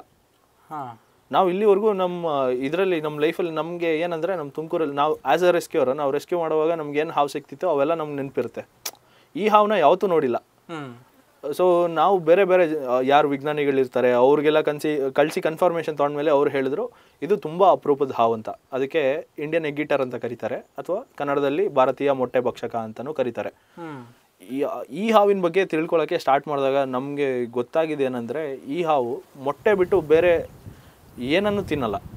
ಅದರ ಡಯಟಲ್ಲಿ ಮೊಟ್ಟೆ ಬಿಟ್ಟು ಬೇರೆ ಏನೂ ಇಲ್ಲ. ಏನು ಹುಳ ಏನು ಹುಳ ಏನೂ ಇಲ್ಲ. ಏನು ತಿನ್ನಲ್ಲ. ಬರೀ ಮೊಟ್ಟೆ. ಅದಕ್ಕೋಸ್ಕರ ಇದಕ್ಕೆ ಇಂಡಿಯನ್ ಎಗ್ಗಿಟರ್ ಅಂತಾನೆ ಕರೀತಾರೆ. ಈ ಹಾವು ವಿಷ ಇಲ್ಲದೆ ಇರೋ ಹಾವು. ಇದಕ್ಕೆ ಬಾಯಲ್ಲಿ ಹಲ್ಗಳು ಸಹ ಇರಲ್ಲ. ಇದು ಹೇಗೆ ಇದ್ರು ಮೊಟ್ಟೆನ ಮೊಟ್ಟೆ ಪಕ್ಷಿ ಮೊಟ್ಟೆನ ಹೇಗೆ ನುಂಗುತ್ತೆ ಅಂದರೆ ಅದು ಇವಾಗ ನಾವು ಸಾಮಾನ್ಯವಾಗಿ ಈ ಹಳ್ಳಿಗಳ ಕಡೆ ಹೊಲಗಳಿರುತ್ತೆ ಗ್ರಾಸ್ ಲ್ಯಾಂಡ್ ಇರುತ್ತೆ ಈ ಹಾವಿಗೆ ಗ್ರಾಸ್ ಲ್ಯಾಂಡ್ ಮತ್ತು ವುಡ್ಲ್ಯಾಂಡ್ ಸವನ ಅಂತ ಇರೋ ಹ್ಯಾಬಿಟ್ಯಾಟಲ್ಲಿ ಈ ಹಾವು ವಾಸ ಮಾಡುತ್ತೆ. ವುಡ್ಲ್ಯಾಂಡ್ ಸವನ ಅಂದರೆ ಗ್ರಾಸ್ ಲ್ಯಾಂಡು ಇರುತ್ತೆ ಅಲ್ಲಲ್ಲೇ ಅಲ್ಲಲ್ಲೇ ಒಂದೊಂದು ಮರನೂ ಇರುತ್ತೆ. ಈ ಹ್ಯಾಬಿಟೇಟ್ಗೆ ನಾವು ವುಡ್ಲ್ಯಾಂಡ್ ಸವನ ಅಂತ ಆಫ್ರಿಕಾದಲ್ಲಿ ಸಿಗುತ್ತೆ ಆಫ್ರಿಕಾದಲ್ಲಿ ಸಿಗುತ್ತಲ್ಲ? ಆ ಥರ. ಅಂದರೆ ಇಲ್ಲಿ ಸ್ವಲ್ಪ ಸ್ವಲ್ಪ ಜಾಸ್ತಿ ಮರಗಳು. ಈ ಹ್ಯಾಬಿಟ್ಯಾಟ್ಗೆ ವುಡ್ಲ್ಯಾಂಡ್ ಸವನ ಅಂತ ಹೇಳ್ತೀವಿ ನಾವು. ಈ ಹ್ಯಾಬಿಟ್ಯಾಟಲ್ಲಿ ಈ ಹಾವುಗಳು ವಾಸ ಮಾಡುತ್ತೆ. ಈ ಹಾವುಗಳು ಹೆಂಗೆ ಅಂದರೆ ನೆಲದ ಮೇಲೆ ವಾಸ ಮಾಡೋವಂಥ ಪಕ್ಷಿಗಳ ಮೊಟ್ಟೆನ ತಿನ್ಕೊಂಡು ಬದುಕುತ್ತೆ. ಈಗ ನೆಲದ ಮೇಲೆ ಈಗ ಎಕ್ಸಾಂಪಲ್ ತಗೊಳ್ಳೋದಾದ್ರೆ ಕ್ವೈಲ್ ಅಂತ ಪಕ್ಷಿ ಬರುತ್ತೆ. ಕ್ವೈಲ್ಗೆ ಕೌಜ್ಗ ಅಂತ ಕರೀತಾರೆ ಅಥವಾ ನಿಮ್ಮ ಈ ಸುಮಾರಷ್ಟು ಮನುಷ್ಯರು ಅದನ್ನ ಹಿಡಿದು ಕೂಡ ತಿಂತಾರೆ. ತೀತರ್ ಅಂತಾನೂ ಕರೀತಾರೆ. ಒಂದು ಪಕ್ಷಿ ಬರುತ್ತೆ. ತೀತರ್ ತೀತರ್ ಮೀಟ್ ತೀತರ್ ಮೀಟ್ ಅಂತ ನೀವು ಕೇಳಿರ್ಬೋದು. ಹಾ. ತೀತರ್ ಅಂತ ಕರೀತಾರೆ ಅಥವಾ ಕೌಜ್ಗ ಅಂತ ಕರೀತಾರೆ ಕೌಜ್ಲಕ್ಕಿ ಅಂತ ಕರೀತಾರೆ ಈ ಹಕ್ಕಿಗಳು ನೆಲದಲ್ಲಿ ಮೊಟ್ಟೆ ಇಡುತ್ತೆ ಸಾಮಾನ್ಯವಾಗಿ. ಈ ಮೊಟ್ಟೆಗಳನ್ನ ಈ ಹಾವು ನುಂಗುತ್ತೆ. ಅಂದರೆ ಕಂಪ್ಲೀಟಾಗಿ ನುಂಗೋದಿಲ್ಲ. ಈ ಹಾವಿಗೆ ತಲೆಯ ಮೇಲ್ಗಡೆ ಭಾಗದಲ್ಲಿ ಹಲ್ಲಿ ಯಾವುದೇ ಕಾರಣಕ್ಕೂ ಹಲ್ಲಿರೋದಿಲ್ಲ ಈ ಹಾವಿಗೆ. ಓ. ಯಾವ ಹಲ್ಲು ಇರಲ್ಲ. ಮೇಲ್ಗಡೆ ಕೆಳಗಡೆ ಏನು ಹಲ್ಲು ಇರೋದಿಲ್ಲ. ಈ ಹಾವು ಆ ಮೊಟ್ಟೆನ ಹೇಗೆ ನುಂಗುತ್ತೆ ಅಂದರೆ ಫಸ್ಟು ಈ ಮೊಟ್ಟೆನ ಬಾಯ್ಲ್ ಹಾಕ್ಕೊಳ್ಳುತ್ತೆ ಆ ಮೊಟ್ಟೆನ ನೋಡುತ್ತೆ ಕೂಡ. ಅದು ಎಕ್ಸಾಮೈನ್ ಕೂಡ ಮಾಡುತ್ತೆ ಅಂತೆ. ಈ ಮೊಟ್ಟೆಯಲ್ಲಿ ಮರಿ ಇದ್ರೆ ಅದನ್ನು ನುಂಗೋದಿಲ್ಲ. ಫ್ರೆಶ್ ಆಗಿರೋ ಮೊಟ್ಟೆ ಬೇಕು ಅದಕ್ಕೆ. ಓ. ಫ್ರೆಶ್ ಆಗಿರೋ ಮೊಟ್ಟೆ ಮಾತ್ರ ನುಂಗ್ತದೆ. ನುಂಗೋವಾಗ ಹಲ್ಲಿಲ್ಲದೆ ಇದ್ದಾಗ ಎಗ್ನ ಹೆಂಗ್ ಕ್ರ್ಯಾಕ್ ಮಾಡಬೇಕು? ಅದಕ್ಕೋಸ್ಕರ ಅದಕ್ಕೆ ಬಾಯಿನ ಒಳಗಡೆ ಮೇಲ್ಗಡೆ ಭಾಗದಲ್ಲಿ ಸರ್ವಿಕಲ್ ಹೈಪೋಫೋ ಫೈಸಸ್ ಅಂತ ಒಂದು ಇದಿರುತ್ತೆ. ಅಂದರೆ ಅದು ಹಾಂ ಅದು ಪ್ರೊಜೆಕ್ಷನ್ಸು ಮೂಳೆ ಮೇಲ್ಗಡೆನೆ ಮುಳ್ಳಿನ ಥರ ಮೂರು ಮೂರು ಅಥವಾ ನಾಲ್ಕು ಪ್ರೊಜೆಕ್ಷನ್ಸ್ ಇರುತ್ತೆ. ಆ ಪ್ರೊಜೆಕ್ಷನ್ಸ್ಗೆ ಆ ಪ್ರೊಜೆಕ್ಷನ್ಸಿಂದ ಈ ಎಕ್ಸೆಲ್ನ ಕ್ರ್ಯಾಕ್ ಮಾಡುತ್ತೆ ಈ ಹಾವು. ಆದರೆ ಅದು ಮೇಲ್ಗಡೆ ಇರುತ್ತೆ ಒಳಭಾಗದಲ್ಲಿ. ತಲೆ ಹತ್ರ ಕೆಳಗಡೆ ಒಳಭಾಗದಲ್ಲಿ ಇರುತ್ತೆ. ಈ ಹಾವು ಹೆಂಗೆ ಮೊಟ್ಟೆ ನುಂಗುತ್ತೆ ಅಂದರೆ ಇದು ಮೊಟ್ಟೆನ ಫಸ್ಟು ಅದ್ರ ದೇಹದಲ್ಲಿ ಕಾಯಿಲ್ ಮಾಡ್ಕೊಳ್ಳುತ್ತೆ ದೇಹನ ಕಾಯಿಲ್ ಮಾಡ್ಕೊಳ್ಳುತ್ತೆ. ಒಂದು ಎಡ್ ಒಂದು ಎಂಡಿಗೆ ಅದ್ರ ಮೊಟ್ಟೆದು ಒಂದೆಣ್ಣ ಟಚ್ ಮಾಡ್ಕೊಳ್ಳುತ್ತೆ ಇನ್ನೊಂದರಲ್ಲಿ ಬಾಯಿ ಹಾಕ್ಬಿಟ್ಟು ಫುಲ್ ಆ ಮೊಟ್ಟೆನ ನುಂಗಕ್ಕೆ ಸ್ಟಾರ್ಟ್ ಮಾಡುತ್ತೆ. ನುಂಗಕ್ಕೆ ಸ್ಟಾರ್ಟ್ ಮಾಡಿದಾಗ ನಾನು ಆ ಪ್ರೊಜೆಕ್ಷನ್ಸ್ ಏನು ಹೇಳಿದೆ ಮೇಲ್ಗಡೆ ಆ ಮುಳ್ಳಿನ ಥರ ಪ್ರೊಜೆಕ್ಷನ್ಸ್ ಇರುತ್ತಲ್ಲ ಆ ಪ್ರೊಜೆಕ್ಷನ್ಸ್ನ ಯೂಸ್ ಮಾಡಿಕೊಂಡು ಮತ್ತು ಇದ್ರ ಬಾಡಿನೂ ಯೂಸ್ ಮಾಡಿಕೊಂಡು ಆ ಮೊಟ್ಟೆನ ಕ್ರ್ಯಾಕ್ ಮಾಡೋಕ್ಕೆ ಸ್ಟಾರ್ಟ್ ಮಾಡುತ್ತೆ. ಓ. ಆ ಮೊಟ್ಟೆನ ಕ್ರ್ಯಾಕ್ ಮಾಡಿ ಆ ಮೊಟ್ಟೆಯಲ್ಲಿರೋ ಅಂತ ಏನು ನ್ಯೂಟ್ರಿಯೆಂಟ್ಸ್ ಬೇಕೋ ಅದನ್ನೆಲ್ಲ ಅಬ್ಸರ್ವ್ ಮಾಡ್ಕೊಂಡು ಎಕ್ಸೆಲ್ನ ವಾಪಸ್ ರೀಗರ್ಜಿಟೇಟ್ ಮಾಡುತ್ತೆ. ಅಂದರೆ ರೀಗರ್ಜಿಟೇಟ್ ಅಂದರೆ ಆ ಮೊಟ್ಟೆ ಮೊಟ್ಟೆ ಶೆಲ್ಸ್ ಏನಿರುತ್ತೆ ಅದನ್ನು ಮತ್ತೆ ಆಚೆ ಹಾಕುತ್ತೆ. ಶೆಲ್ದು ಚೂರುಗಳು ಇದನ್ನು ಆಚೆ ಹಾಕಿ ಮತ್ತೆ ಆ ಹಾವು ಹಂಗೆ ಮುಂದೆ ಹೋಗುತ್ತೆ. ಈಗ ಅದ್ರದ್ದು ಪಾಪ್ಯುಲೇಷನ್ ತುಂಬ ಕಮ್ಮಿ ಆಗಿದೆ ಆ ಹಾವಿಂದು. ಯಾಕೆ ಅಂದರೆ ಈಗ ಜನಗಳು ಅಗ್ರಿಕಲ್ಚರ್ ಅನ್ನೋ ನೆಪದಲ್ಲಿ ಕಾಡನ್ನ ಎನ್ಕ್ರೋಚ್ ಮಾಡ್ತಾ ಇದ್ದಾರೆ. ಮತ್ತೆ ಅದಕ್ಕೆ ಸೂಟೇಬಲ್ ಹ್ಯಾಬಿಟ್ಯಾಟ್ಸ್ ಇಲ್ಲ. ಮತ್ತೆ ಎಷ್ಟೋ ಜನ ಆ ಹಾವು ನೋಡೋಕೆ ಕಪ್ಪು ಬಣ್ಣದ್ರಲ್ಲಿ ಇರೋದ್ರಿಂದ ಎಷ್ಟೋ ಜನ ಕಟ್ಟಾವಂತ ಸಾಯಿಸ್ತಾರೆ ಅದನ್ನ. ಹಾ ಮತ್ತೆ ಎಷ್ಟೊಂದು ಆ ಹಾವು ಕಾಡಿನ ಭಾಗದಲ್ಲಿ ವಾಸ ಮಾಡ್ತಾ ಇರೋದ್ರಿಂದ ಎಷ್ಟೋ ಹಾವುಗಳು ರಸ್ತೆಯಲ್ಲಿ ರಸ್ತೆ ದಾಟುವಾಗ ಗಾಡಿಗಳಿಗೆ ಸಿಲುಕಿ ಸಾಯೋಂಥ ಚಾನ್ಸಸ್ ತುಂಬ ಇದೆ. ಅದರಿಂದಾಗಿ ಮತ್ತೆ ಅದ್ರದ್ದು ಡಯಟ್ ಕೂಡ ತುಂಬಾ ಡಿಫ್ರೆಂಟ್ ಅಲ್ಲ? ಎಲ್ಲ ಹಾವಿ ಕಂಪೇರ್ ಮಾಡಿದ್ರೆ ನೀವು. ಅದು ಬರೀ ಎಗ್ಸ್ನೇ ತಿನ್ನೋದ್ರಿಂದ ಆ ಬರ್ಡ್ ನೆಸ್ಟಿಂಗ್ ಸೈಟ್ಸ್ ಇಲ್ಲ ಇವಾಗ ಮುಂಚೆ ತರ. ಯಾಕೆಂದ್ರೆ ಮುಂಚೆ ಪ್ಲೇನ್ ಗ್ರೌಂಡ್ಸ್ ಇತ್ತು ಹೌದೌದು. ಇವಾಗ ಎಲ್ಲದನ್ನು ಅಗ್ರಿಕಲ್ಚರ್ ಹೌದು ಎಲ್ಲಾನು ಅಗ್ರಿಕಲ್ಚರ್ ಕನ್ವರ್ಟ್ ಮಾಡಿದ್ದಾರೆ. ಎಲ್ಲಾನು ಎಲ್ಲ ಕಡೆನೂ ಪ್ಲಾಂಟೇಶನ್ಸ್ ಮಾಡ್ತಾ ಇದ್ದಾರೆ ಕಂಟಿನ್ಯೂಸ್ ಆಗಿ. ಎಲ್ಲ ಕಡೆ ಪ್ಲಾಂಟೇಶನ್ಸ್ ಮಾಡಿದಾಗ ಆ ಪಕ್ಷಿಗೆ ಸೂಟೇಬಲ್ ಹ್ಯಾಬಿಟ್ಯಾಟ್ ಇಲ್ಲ ಮೊಟ್ಟೆ ಇಡಕ್ಕೆ ಅನ್ಸಿದಾಗ ಅದು ಮೊಟ್ಟೆ ಇಡಲ್ಲ. ಆ ಮೊಟ್ಟೆ ಇಟ್ಟಿಲ್ಲ ಅಂದರೆ ಈ ಹಾವಿಗೆ ಮೊಟ್ಟೆ ಸಿಗೋದಿಲ್ಲ. ಸೊ ಇದಕ್ಕೆ ಇಂಡೈರೆಕ್ಟ್ ಆಗಿ ಆ, ಏ- ಆ, ಏನಾಗ್ತಾ ಇದೆ ಅಂದರೆ ಎಲ್ಲ ಕಡೆಯಿಂದನು ಥ್ರೆಡ್ಸ್ ಜಾಸ್ತಿ ಆಗ್ತಾ ಇದೆ. ಸೊ ಹಾಗಾಗಿ ಈ ಹಾವಿನ ಸರ್ವೈವಲ್ ತುಂಬ ಕಷ್ಟ ಇದೆ. ಈ ಹಾವು ನಮ್ಮ ಏನು ಸದರ್ನ್ ಮೋಸ್ಟ್ ಇಂಡಿಯಾಗೆ ಲೇಟೆಸ್ಟ್ ರಿಪೋರ್ಟ್ ಅಂದರೆ ತುಮಕೂರು ಜಿಲ್ಲೆಯಿಂದ. ಓಕೆ. ಹೌದು. ಈ ಹೌದು. ಆಮೇಲೆ ಇದಾದ್ಮೇಲೆ ತದನಂತರ ಎರಡು ಸಾವಿರದ ಹತ್ತೊಂಬತ್ತರಲ್ಲೇ ಮತ್ತೆ ನಮಗೆ ನಮ್ಮ ತುಮಕೂರಿನ ಅರಣ್ಯ ಪ್ರದೇಶದಲ್ಲಿ ಹಿಂಗೆ ನಾವೆಲ್ಲ ಓಡಾಡುವಾಗ ನಮಗೆ ಒಂದು ಹಾವು ಸಿಗುತ್ತೆ. ಅದು ಇವಾಗ ಅದಕ್ಕೆ ಡೆಕನ್ ಸುಲ್ಫ್ ಅಂತ ಹೆಸರಿಟ್ಟಿದ್ದಾರೆ. ಆದರೆ ನಮಗೆ ಸಿಕ್ಕಿದಾಗ ಆ ಹಾವು ಏನು ಅಂತಲೂ ಗೊತ್ತಿರಲಿಲ್ಲ. ಅವಾಗ ಅದ್ರ ಮೇಲೆ ಏನು ರಿಸರ್ಚ್ ಪೇಪರ್ ಇರಲಿಲ್ಲ ಏನು ಬಂದು ಇರಲಿಲ್ಲ. ನಾವು ಈ ಹಾವನ್ನ ನೋ ನೋಡಿದ್ದು ಎರಡು ಸಾವಿರದ ಹತ್ತೊಂಬತ್ತು ಜುಲೈ ಏಳು ಅಥವಾ ಎಂಟನೇ ತಾರೀಕಲ್ಲಿ. ಈ ಹಾವು ಒಂದು ಕಲ್ಲಿನ ಮಂಟಪ ಮೇಲೆ ಗೋಡೆ ಮೇಲೆ ಇತ್ತು. ನಾವು ಈ ಹಾವು ನೋಡಿದಾಗ ಯಾವುದೋ ತೋಳದ ಹಾವು ಅಂತ ಗೊತ್ತಿತ್ತು. ಯಾಕಂದ್ರೆ ತೋಳದ ಹಾವು ಥರನೇ ಇತ್ತು. Body shape head head shape ಮತ್ತೆ ಅದ್ರ ಮೇಲಿರೋ ಪ್ಯಾಟರ್ನ್ಸ್. ಆದರೆ ನಮಗೆ ಏನು ತೋಳದ ಹಾವು ಅಂತ ಗೊತ್ತಿರಲಿಲ್ಲ. ನಾವು ಈಗ ಹೆಂಗೆ ಜನಗಳು ಏನು ಕಾಣಿಸಿದ್ರು ಗೂಗಲಲ್ಲೆಲ್ಲ ಹುಡುಕ್ತಾರಲ್ಲ ನಾವು ಆ ಥರ ಹುಡುಕ್ದಾಗ ನಮಗೆ ಅದ್ರ ಮೇಲೆ ಯಾವ ಮಾಹಿತಿನೂ ಸಿಕ್ಕಿಲ್ಲ. ನಾವು ನಮ್ಮ ಈಗ ಯತಿನ್ ಇರ್ಬೋ ಯತಿನ್ಗೆ ನಾವು ಈ ಮಾಹಿತಿನ ಶೇರ್ ಮಾಡಿದ್ವಿ. ಈ ಥರ ಒಂದು ಹಾವು ನೋಡಿದ್ದೀವಿ ನಾವು. ಈ ಥರ ಇತ್ತು ಈ ಥರ ಡಿಫ್ರೆಂಟ್ ಆಗಿತ್ತು ಅಂತ. ಯತಿನ್ ಅವರು ನಮ್ಮ ಜೊತೆಗೆ ಸುಮಾರು ಸತಿ ಫೀಲ್ಡಿಗೆ ಬಂದಿದ್ದಾರೆ. ಹಂಗೆ ನಮಗೆ ಝೀಶಾನ್ ಮಿರ್ಜಾ ಅಂತ ಒಬ್ರು ಹರ್ಪೆಟಾಲಜಿಸ್ಟ್ ಇದ್ರು. ಇದ್ದಾರೆ ಅವರು ಎನ್ ಸಿ ಬಿ ಎಸ್ ಅಲ್ಲಿ ಅವ್ರದ್ದು ಮಾಸ್ಟರ್ಸ್ ಮಾಡ್ತಾ ಇದ್ರು. ಅವರು ಅವ್ರ ಜೊತೆ ಲ್ಯಾಬ್ ವರ್ಕಿಗೆ ಏನು ಸಹಾಯ ಬೇಕೋ ಅವ್ರ ಜೊತೆ ಕೊಲಾಬ್ರೇಟ್ ಮಾಡಿಕೊಂಡು ಈ ಹಾವಿಂದು ಏನು ಡಯಟ್ ಏನಿದೆ ಇದೇನು ಆಹಾರ ತಿನ್ನುತ್ತೆ ಮತ್ತೆ ಈ ಹಾವಿಂದು ಫೈಲೋಜೆನೆಟಿಕ್ಸ್ ಏನಿದೆ ಮತ್ತೆ ಈ ಹಾವಿಂದು ಬೇರೆ ವೈಶಿಷ್ಟ್ಯತೆಗಳೇನಿದೆ ಇದನ್ನ ಅಧ್ಯಯನ ಮಾಡ್ತೀವಿ. ಆದ್ರೆ ಈ ಹಾವಿಗೆ ಡೆಕ್ಕನ್ ಸುಲ್ಫ್ ಅಂತ ಆಲ್ರೆಡಿ ಬೇರೆ ವಿಜ್ಞಾನಿ ಇದಕ್ಕೆ ಹೆಸರನ್ನು ಇಟ್ಟು ಪಬ್ಲಿಷ್ ಮಾಡಿದ್ರು ಅದಾದ್ಮೇಲೆ ಇದು ನಮಗೆ ಹೊಸ ಹಾವು ನೋಡ್ಲಿಕ್ಕೆ ಸಿಕ್ತು. ಇದು ನಿಶಾಚಾರಿ ಹಾವು. ಇದು ನಮಗೆ ಸುಮಾರು ಸಿಗ್ತಾ ಇದ್ದಿದ್ದು ಹನ್ನೆರಡು ಗಂಟೆ ಮೇಲೆ ರಾತ್ರಿ.